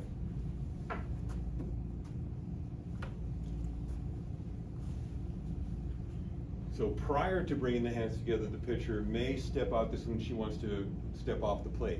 She can, she can do so with either foot. So she's standing there, taking, you've seen this all the time, so she's standing there, taking your sign, she doesn't get it, she doesn't get it, okay, she steps off. She can step off, if she has both feet on the plate, she can step off with either one, we don't care. She's, she's separated, there's no harm, no foul there. Once she's brought it together, it has to be the pivot foot, that's the only difference. So she's got it, she's ready to pitch, she brings her hands together and steps off, and then decides not to do it, and she steps off with her pivot foot. All right, she hasn't released it yet, so the pitching motion is not, hasn't begun. She had, she, she stepped back and gone like this, and, she- and she can step off. See what I'm saying? But only with that pivot foot.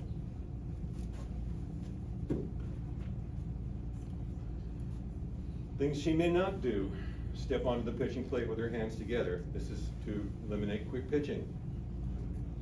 A rocker step by lifting the pivot foot off the pitching plate at all, lifting that pivot foot at all as she steps back. That's a rocker step. We'll have a video on that as well. A motion to pitch without immediately delivering the ball, so no hesitating. You know, she can't begin a pitch like that, right? No double motions or anything like that. She, she starts that pitch, it's a full pitch motion, can't start and stop. Bring the hands together for a second time. That's, that's to help guide the ball in some cases. She'll step back, go around. Like that, touch it somehow to help guide the ball through. One time, once that hand comes off the ball, only the pitching motion can happen. After separating the hands, a stop and reverse forward motion. I don't know if I've ever seen that. Yeah, right.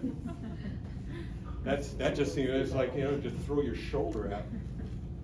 She can't take more than twenty seconds to deliver the pitch. We're not here to play gotcha with your pitchers. We know that a lot of you, especially in the minors, are, are, they're just really uncertain. They're just learning how to do this. I can tell you that if, if I'm standing there, I'm not standing there counting to twenty. But we all know that if she's standing there and she's not getting ready to pitch at all, what I'm gonna do is I'm just gonna say, pitch please. I'll be nice about it, pitch please, you know, and I'll step back and wait and wait.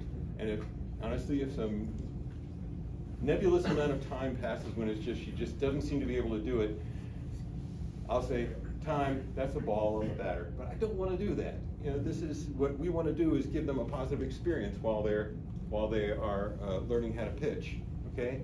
What I would suggest is if your, if your pitcher's having a hard time, have your catcher turn to me and say, can I have, can I have time, Blue? And go out and talk to your pitcher, get them reassured, get them pitching again. That's what we all want, just getting the game moving along. Uh, she can't crow hop. Got a video coming up on that. That's that's establishing a second landing point for the pivot foot. They're supposed to be pushing off from the plate and pitching from there. Crow hops allow them to move forward and establish a second landing point. What that does is reduces the distance, which reduces the coefficient. So she can pitch at X miles per hour from here, and there's a reaction time to that. She pushes off from farther up. That reaction time is shortened, so she can pitch the same speed but get a shorter reaction time. Leaps, that's just what it means. Both feet leave the ground. Deliberately drop the ball. I don't know what kind of play, what manager thought that one up. You know, that she thinks they're going to pick somebody off by, uh, oops, and then trying to throw a runner out who saw it as a live ball. I don't know about deliberation. I can't really read their minds from there. I have two daughters. I can't read their minds. Lands fully outside the width of the pitching plate. This is a motion that, that became popular within the last 15 years or so, where they where they leap over to the side in order to get a lot of underhand, right? So they can get a lot of um, curve on the ball and a lot of good drop. Uh, so that you can see in the college games where they, they actually drawn those white lines from the sides of the plate and any foot that lands outside of that. Well, this is what that rule says too. We don't draw those lines, but if I'm looking right down the alleyway there and I see her, one of her, especially her landing foot, the non-pivot foot landing outside of the width of the plate, that's going to be an illegal pitch. So here's the, the hands together one. She, she'll put her hands together before she pitches.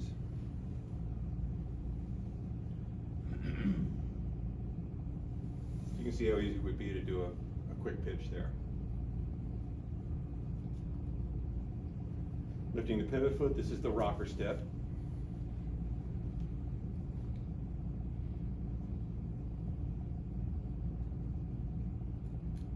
So, that- I see that pivot foot come up at all, that's a rocker, I'm gonna call illegal pitch. It's not a dead ball. Anytime you hear an umpire say illegal pitch, all that means is that something interesting may happen from here going forward. Okay, this is definitely, um, the hands not coming together properly. And again, one of our distinguished umpires there, not calling an illegal pitch. You can see she barely even, she, she started and then just sort of tapped her hands together, she went, that's not a good legal pitching delivery. Stepping back with her hands together, they're together now, and now she steps back. That's an illegal pitch.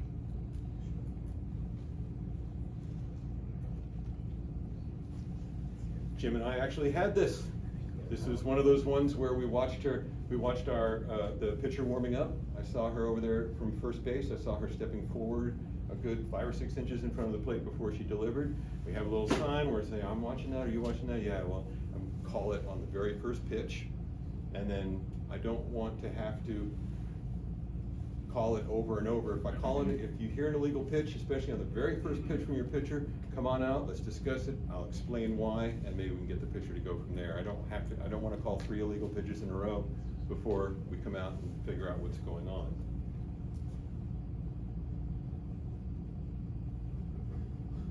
New pitchers. Nobody does that on, uh, no, no pitchers do that on purpose, they know they're gonna get called. This is the, this is the leap. I tell you, she almost went into orbit. And this wasn't called either. Right, Jim? This was her pitcher, pitching motion the entire World Series. Never called once. You see how it creates that second landing? She pushes off from there. That makes a 40 mile an hour pitch a 55 mile an hour pitch. Here's the crow hop. This is classic. This is something that uh, men's uh, uh, fast pitch uh, uses all the time. Probably learned it from her dad. See that second landing there? That's a good 18 inches forward, and again, increases that coefficient. Gives her that extra push. And here's the pitching outside the width. The, there's that little side hop that they'll use so they can get a lot more under the ball.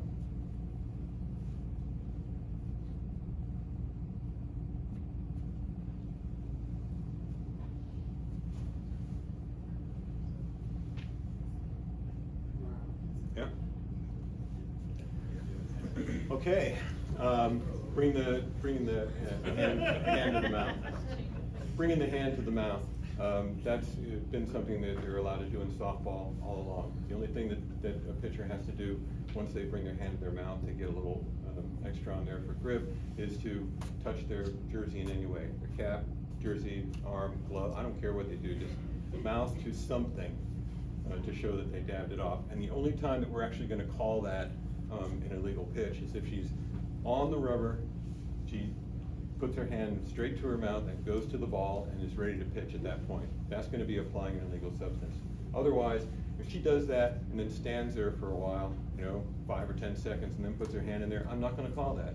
I mean, five, ten seconds, there's nothing there anymore. So, and that can be done at any point, outside the circle, inside, or even standing on the pitching plate. The penalty for not wiping off is gonna be an illegal pitch, but as I say, the only time we're gonna call that is when we see something that's pretty much continuous, hand, ball, pitch. Any illegal pitch is one that's not made in accordance with these pitching rules, the ones that we were just talking about. Delivered when the pitcher doesn't have their pivot foot in contact with the pitcher's plate. You saw that on the video. Quick return pitch. Catcher throws it back, she sets up and immediately throws the ball. I'm gonna call time, that's a quick return pitch and that's illegal. I'm trying to uh, protect your batter. There's a reasonable amount of time that's expected between one pitch and another. And if your, if your pitcher doesn't give that batter a chance to just like two or three seconds to get reset and ready for the next one, that's gonna be an illegal pitch. Deliver it with a foreign substance applied to the ball, that includes dirt, they can, they can go down with their hands and rub some on their hands, but don't pick up dirt and rub it on the ball, all right, that's a foreign substance. Throw to a base with a pivot foot on the pitcher's plate, why?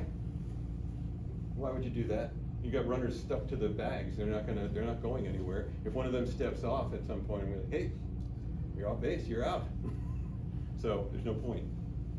Penalty: pitches the ball, and if the ball is hit anytime an illegal pitch is called, this is what I was talking about before. So I'm gonna stand out there and I see him and say, that's an illegal pitch. Nice and loud, much louder than that. Mm-hmm. So you'll hear it. Trust me. Your batter has an option whether to hit it or swing at it or not. And if they hit it, we're gonna see what happens after that. If that batter runner makes it to first base, and all other runners that are on base make it, uh, advance at least one base without being put out, the illegal pitch is forgotten. There's no penalty for it. If, however, the, that isn't met, if anything else happens, the defensive manager can choose, uh, the offensive manager can choose whether to take the penalty or take the play. An example would be you think, okay, she hits it and then she's put out at first base. Well, I'm going to go ahead and take the penalty and have a ball on the batter and bring her back. But what if you had a runner at third base? And while they were throwing that, throwing her out at first, that runner came down and scored.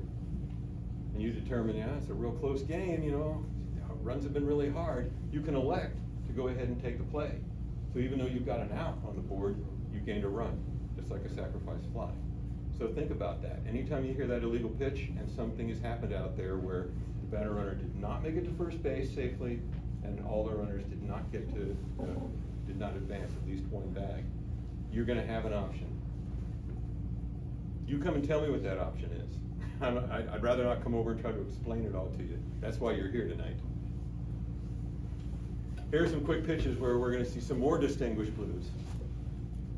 This fella here, he must have had a lot to eat or something.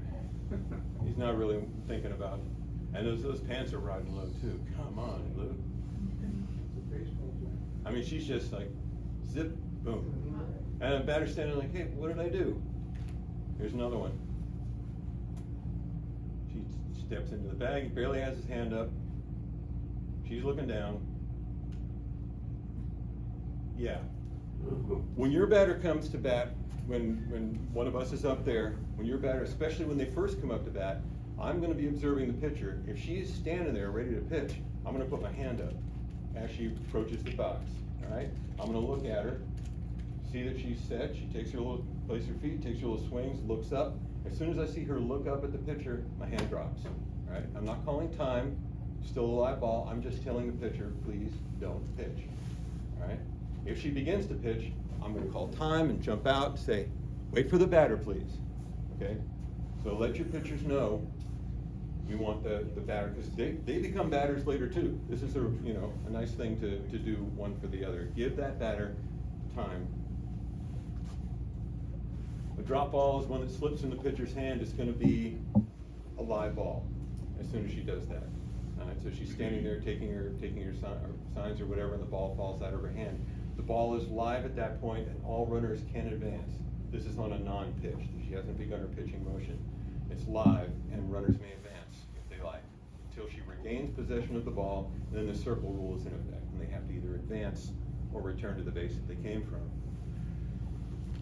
A drop ball, one that goes direct to the ground, a pitch requires lift and carry, so if she drops it as she pitches, she's in that pitching motion, and it slams to the ground and starts rolling or something like that, that's a pitch. And that's gonna be called a, a, a ball, and that ball is live, all right? And all pitch, once again, all runners can advance at their peril. So, a pitcher being removed from the circle and returning to pitch. So you can go out and take that pitcher off the mound, put them in another defensive position, bring in another defensive player from in the outfield, like say switch your shortstop and your pitcher. They can return a pit as a pitcher any time in the remainder of the game, but only once in that inning. So you, you, you think you're, you maybe you want to give her a little bit of a rest, you put her out at shortstop, you bring the shortstop in, the shortstop, you know, walks five or six girls, say, yeah, okay, you know, come on back. So she, in that inning, she can come back onto the mound. But that's it for that inning. still for the rest of the game, once, once you're, you get back in the dugout, she can, she can come back again. Majors and minors, if you withdraw a pitcher from the game for a substitute either offensively or defensively, withdraw for a substitute, she's out. She cannot pitch for the rest of the game. That applies for continuous batting order and batting nine. That's just minors and majors. Juniors and seniors, they can be withdrawn from the game offensively or defensively, even subbed for, and return as a pitcher once per inning, provided she doesn't violate substitution or visits. Thing about this, minors, majors, seniors, all the way through, if you had any visits with your pitcher, and then she is out of the game and then returns, those visits come with her. They don't reset. Let's talk about numbers of visits then. In the minors, you get two in an inning for your pitcher without being asked to remove your pitcher from the mound. So she's having a hard time, she can go there at least twice and then return to the dugout. If you come out a third time in that inning, it is to replace her. When you finish your second visit with that pitcher, I'm gonna tell you that too, because I'm keeping track of that. As you walk back to dugout, coach, that was your second visit this inning. I will remind you. Again, I'm not here to play gotcha. Wait there for you wait there for you. Yeah, you're replacing her now. No, honestly, don't look at us that way. We're, we're just here to enforce the rules. Three per game total. So you can have one in the first, one in the third, one in the fifth, whatever. After that third one, the next time you come out to talk to her, it's to replace her. That's minors. Majors and above, just one per inning, and only two for the entire game. That's something that you definitely have to remember, especially in those uh, seniors games that are seven innings. If you've already visited her once, you only get one more That's per player, right? per play. That's correct. Now, I keep track of those by, by the um, pitcher's number, and I put the number of visits next to it, and I always put which inning it was too, just so we're very clear on that, so you, to help refresh your memory. Some of these games run long. Yeah. Do you count, uh, a coach walking, let's say, in between innings, things are going on, the coach walks out and talks to her? I do not count that as a visit. You do not, but So some- if your pitcher. Some umpires do? They shouldn't. Okay. It's not a rule. Okay. If your pitcher is warming up between innings and walks out and is talking to her there, that is not a game situation. You can go, you can talk to her while she's out there warming up, and that's not considered a visit, all right? It's when you call time to stop the game and go out and speak to her that that's considered a charged timeout. Same thing if you substitute a pitcher. You've got the substitute out there, you wanna talk a little strategy with her. I'm still gonna be timing you though, because she gets a certain number of pitches, just like between innings. So if you, if you're gonna talk to her and she's not warming up, I'm counting off, okay, that's one lost pitch. You know, another 10, 15 seconds, that's the second lost pitch.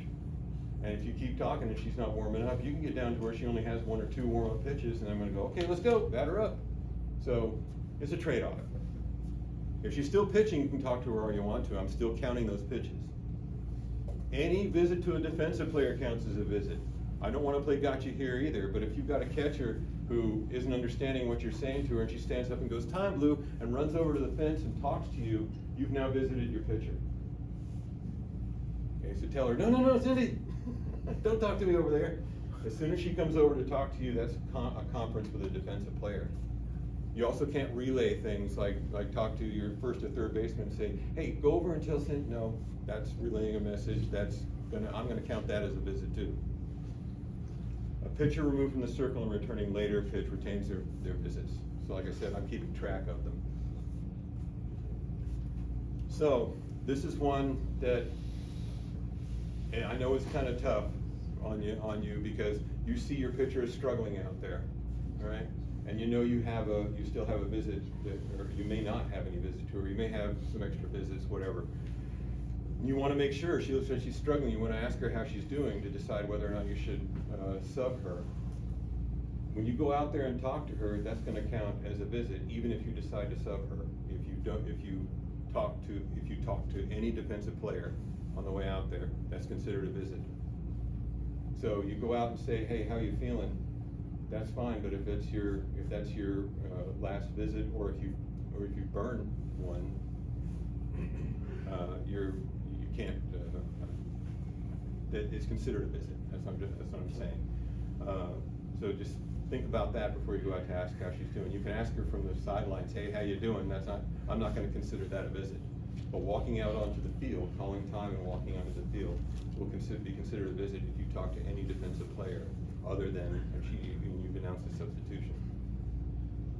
So, pitchers can wear compression sleeves, and we're aware what those are, that's the thinner ones that go on there that, that, that help keep the elbow warm and things like that. They can be a solid single color, black, white, gray, or a uniform color. I don't care if one of your uniform colors is a little bit of optic yellow, it can't be an optic yellow compression sleeve. The pitcher's glove can be a solid color or multicolored, but not the color of the ball. There are some gloves I know that have an image of a ball on them. That's gonna be umpire's discretion, the umpire's discretion as to whether they're gonna allow that pitching glove. So err on the side of caution. If you see something that looks like that, you- it might be a patch sewn on there, take that off. It- You may have uh, an umpire, and you can't, uh, as before, anything that the umpire deems as being improper equipment can't be uh, protested. All right, some questions on that? Yes, sir? I guess it's kind of pertaining to, uh, now when the catcher's throwing back to the pitcher and the ball goes over their heads, Mhm. is it still, is it active? That's a live ball. Live ball, okay. Yeah, it's a live ball. Right. Anytime there's a throwback, that's, anytime the Everything's gotta pitcher. count. Hmm?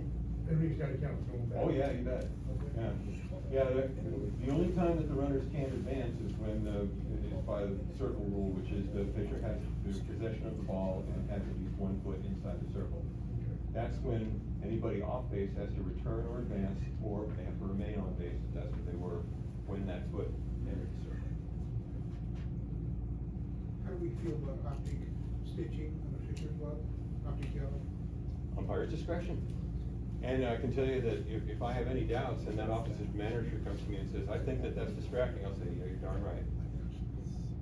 That's the way it is. It might be gamesmanship, but I'm, I'm gonna err on the side of caution on that. Anything that's optic yellow that has to do with your pitcher, just, you know, try not to let that happen. Anything else? Ed, Explain to me, um, if you, uh, are a base runner, and you run through first base, you get your single and you're safe. Yeah, Ball's returned to the pitcher, pitcher back to the circle. yeah, And the runner on first base just kind of talking to the first base coach. yeah. As the pitcher's in the circle, Yeah. kind of veers off the base, but stays on the orange base, but doesn't, but leaves the white base. Um, what is your call on that? At that point, she is a circle violation and I'll call her out. Yeah, I saw that called about three or four times during All-Stars last year. There Yeah. are a lot of people that do not know Yeah. that, just the, and the player, they're totally shocked when they get called out. Yeah. If all, if they just veer off that white base just a little bit, they're automatically gonna get called. Here's the thing to remember and make it simple, okay? Once there's been a play, or once that player has passed that base, the orange base disappears. So just act like it's not even there anymore. And That's the way you can do it. So if you're a base coach and that runner goes, goes past the base and comes back, you just make sure she stays on that white bag, because that orange bag is no longer there. I guess, uh, when you got, you, you guys lose shots out there, um, now can, what do you guys call like, you- the, the audience, the, the parents watching or even the coaches say, there it is? Or they say something, can, can you guys call them? In what sense? Huh? So by Like, saying there it maybe is, the I mean, that's a kind of a like, there nebulous it is, Like statement. it's a good pitch, or it's Yeah. like, like that's the one you hit, there it is. Like if the pitch I have no is- problem with the that. pitch has just left the bat, the pitcher's head. Yeah. And the parent's standing there, strike, swing. Oh, yeah. You know, yeah. Yeah, see, again, it's our discretion, if I'm gonna, if I'm hearing stuff like, you know, swing or something like that, um, this is Little League, okay? This is supposed to be, uh, much more of a family oriented and things like that. Yeah, don't come to Walnut Creek with that. It's much more, it's much more family oriented and what have you. If I feel that, if I feel that uh, a particular, Little roof there. If I feel a particular spectator or somebody like that is acting in a disruptive manner, I'm gonna talk to the, if there's a tournament, I'm gonna talk to the tournament director, if there's the coach, I'm gonna ask the coach not to. We're generally not gonna speak directly to people in the crowd, because that's playing their game, all right? If you, as a coach, know that one of your parents is like that, have a little come to Jesus meeting with them before the season starts and tell them that, that you personally are not going to put up with it. Okay? This is a, while this is a competitive league, it's not travel ball, okay, and it's not the damn World Series in any sport. This is out here to have fun, and we're going to be positive. Thank you. Okay, listen, I appreciate you staying this long. We have one more section to go through, but it's a very, very important section because it's the circle. It's what softball is about. Okay, this is the circle, eight foot radius circle. You have to have one of these if you are going to play a softball game. If you do not have it, you cannot play a softball game. At worst, you know, you'll have, you know, dig it out with your foot if uh, it has not been chalked in. But you can't play the game without a circle. So, what does it mean for a pitcher to be in the circle? It's very important. And what it means is that both of the pitcher's feet have to be fully within or partially within the circle. Outside the circle, outside the circle, within the circle, within the circle. So, when a pitcher has possession of a ball in the circle and is not attempting to make a play, is not throwing to a base, and attempting a play, a fake throw is considered a play. And what we mean by fake throw is a pitcher doing this. This is considered attempting to make a play. This is not because you can't make a play with the ball down here. So the second she begins to raise the arm in the circle, then that's considered um, uh, a play. Once the pitcher has the ball in the circle, not making a play, and the runner is on a base, the runners cannot disengage from their base until in minors the pitch has been made and the pitch reaches the batter. Not reaches home plate, but reaches the batter. In majors and above, the pitch leaves the pitcher's hand. Do we actually know exactly where that ball is leaving? No. What do we do as an umpire? When the arm is straight down like this, parallel to the leg, that's when we consider the ball to have been released, even though it may not be released till right here. So once it gets to this point, that's when you're in majors and uh, seniors, your runner can disengage from the base. What's the penalty if a runner leaves early? Time, immediate dead ball. We don't look to see what happens. Immediate dead ball.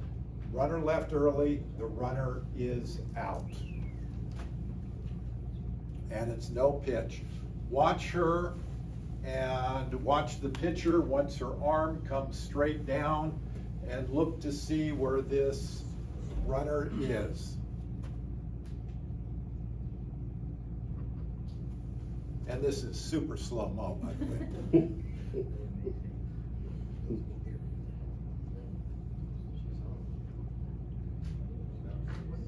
So she's disengaged. Now we consider that the runner could have left, but you can see that runner is all is already a full step off. We have a good umpire there. This umpire actually did call her for it. Well, you get the good ones. Yeah, I get the good ones. if a runner is off a base after a delivered pitch, or as a result of a batter completing a turn at bat, and the pitcher is in that circle and is not making a play, the runner must immediately, and that's what the rule book states, immediately attempt to advance or return to a base. In other words, the pitch has been made, the runner comes off and is standing there, the ball goes back into the circle, the pitcher has it, that runner who's off the base must immediately retreat back to the base they were at or advance to the next base. What is immediately? It's whatever the umpire believes immediately to be. So know that some umpires count. At the minor level, they may count slower. One, two, three, and then they're gonna call that runner out. Maybe in seniors, they'll go one, two, three.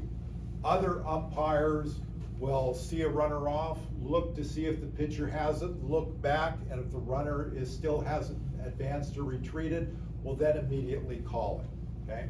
So train your players that when that ball goes back the, to the pitcher and they're off the base, immediately go one way or the other and continue in that direction. What's the penalty? Dead ball, immediate, runner is out. A runner on a base path is allowed one stop. This is something that's not fully understood by a lot of folks in softball. A runner on a base path is allowed one stop if the pitcher has the ball in the circle not making a play. In other words, a player is in motion and the ball goes back to the pitcher, that player may continue on to the next base, touch that base, go all the way to the next base, stop, and then retreat. They're allowed one stop. So a batter runner on a walk may overrun first base or continue to second base. You hear this especially from parents. Throw the ball back in the circle so it'll stop the runner. It doesn't stop the runner. The runner is allowed one stop. A runner is allowed to overrun first base on a walk. Once they turn around, that's considered a stop. Then they have to immediately go back to the base. Or they can just keep running around the bases, right? And the second your pitcher raises their arm like this, then all bets are off and all runners can leave. A batter okay, so that was the walk. Okay, a pitcher with the ball in the circle, not making a play, does not force a runner to stop running. So again, the ball goes back into the to the pitcher, to the pitcher, pitcher not making a play in the circle, that runner is not forced to stop. They if they haven't made their stop yet, they can keep going. Once a runner stops at a base and the pitcher has the ball in the circle, that runner then must stay on that base. So they've gone to first base, they're standing on first base, pitcher has the ball, they then cannot leave that base. That's an immediate time, runner is out. Okay, let's see some examples. This will not be a circle violation. So, we're going to watch it first. I want you to watch, it, watch just the runner at third base. Ball is pitched, she comes off. Ball comes back to the circle. She returns to the base. Okay?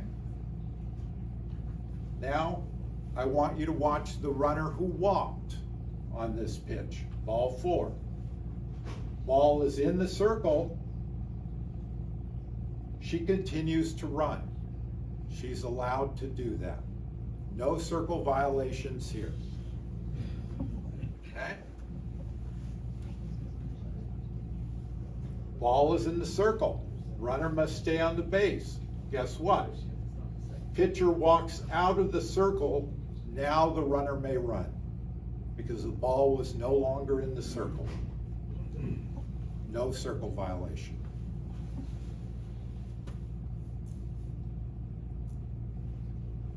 Hit to the outfield. She's coming back. She can change direction. Why? The ball was not in the circle yet. The pitcher did not have possession of the ball. So no circle violation. Now we're going to have circle violations. Now we're going to get our outs. Because we're umpires, we like outs. That was not immediate.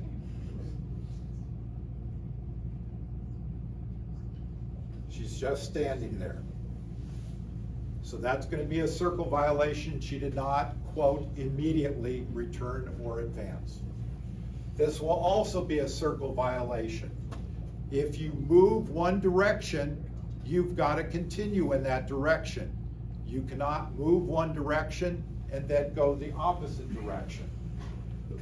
So watch her what she does here.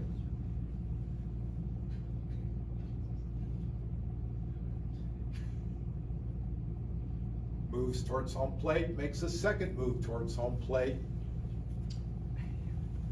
That's a circle violation.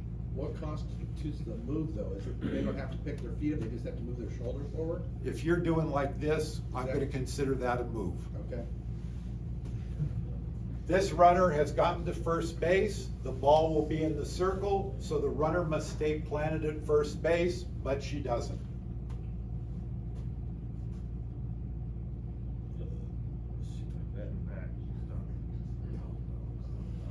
Does the pitcher have the ball there? I can't. Pitcher has the ball. Pitcher has the ball in the circle, not making a play, and we have another good umpire. I gave all the bad umpires to Ed. Thanks. Okay, questions about circles? Yes, Steve? There's a common belief, overrunning first. Wait, go ahead. Folks, folks, can we keep it down so we can hear this? There's a common belief, when the runner overruns first base, if she turns to the right, she's committed to going back to first. If she turns to the left, she's not anything unless she starts towards second. Is that? Right, so what Steve is at, is bringing up is that if a runner overruns first base, baseball, softball, doesn't matter, overruns first base, there's a myth that if they turn to their right and go back, that's all right. If, however, they overrun first base, they turn to their left towards the field, towards second, that now they can be put out. That is not the case.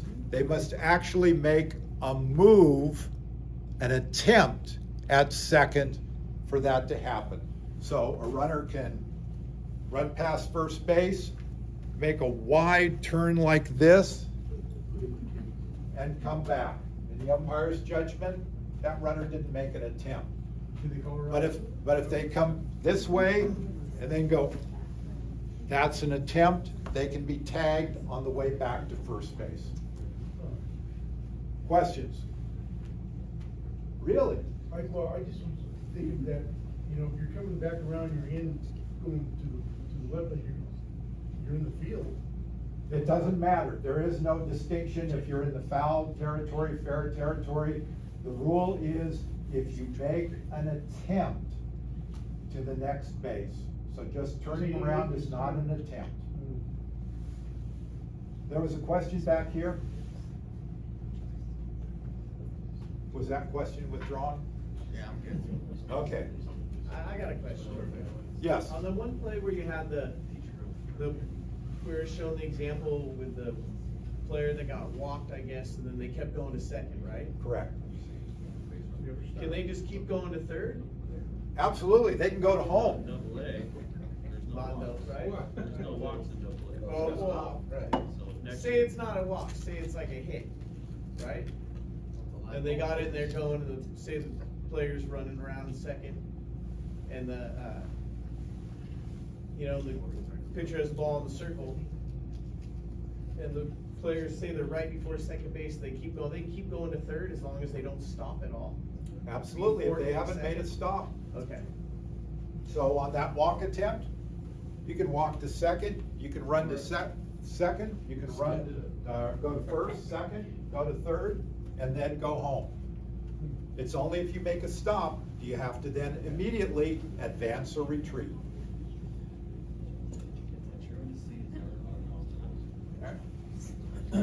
So, just one further thing on the circle.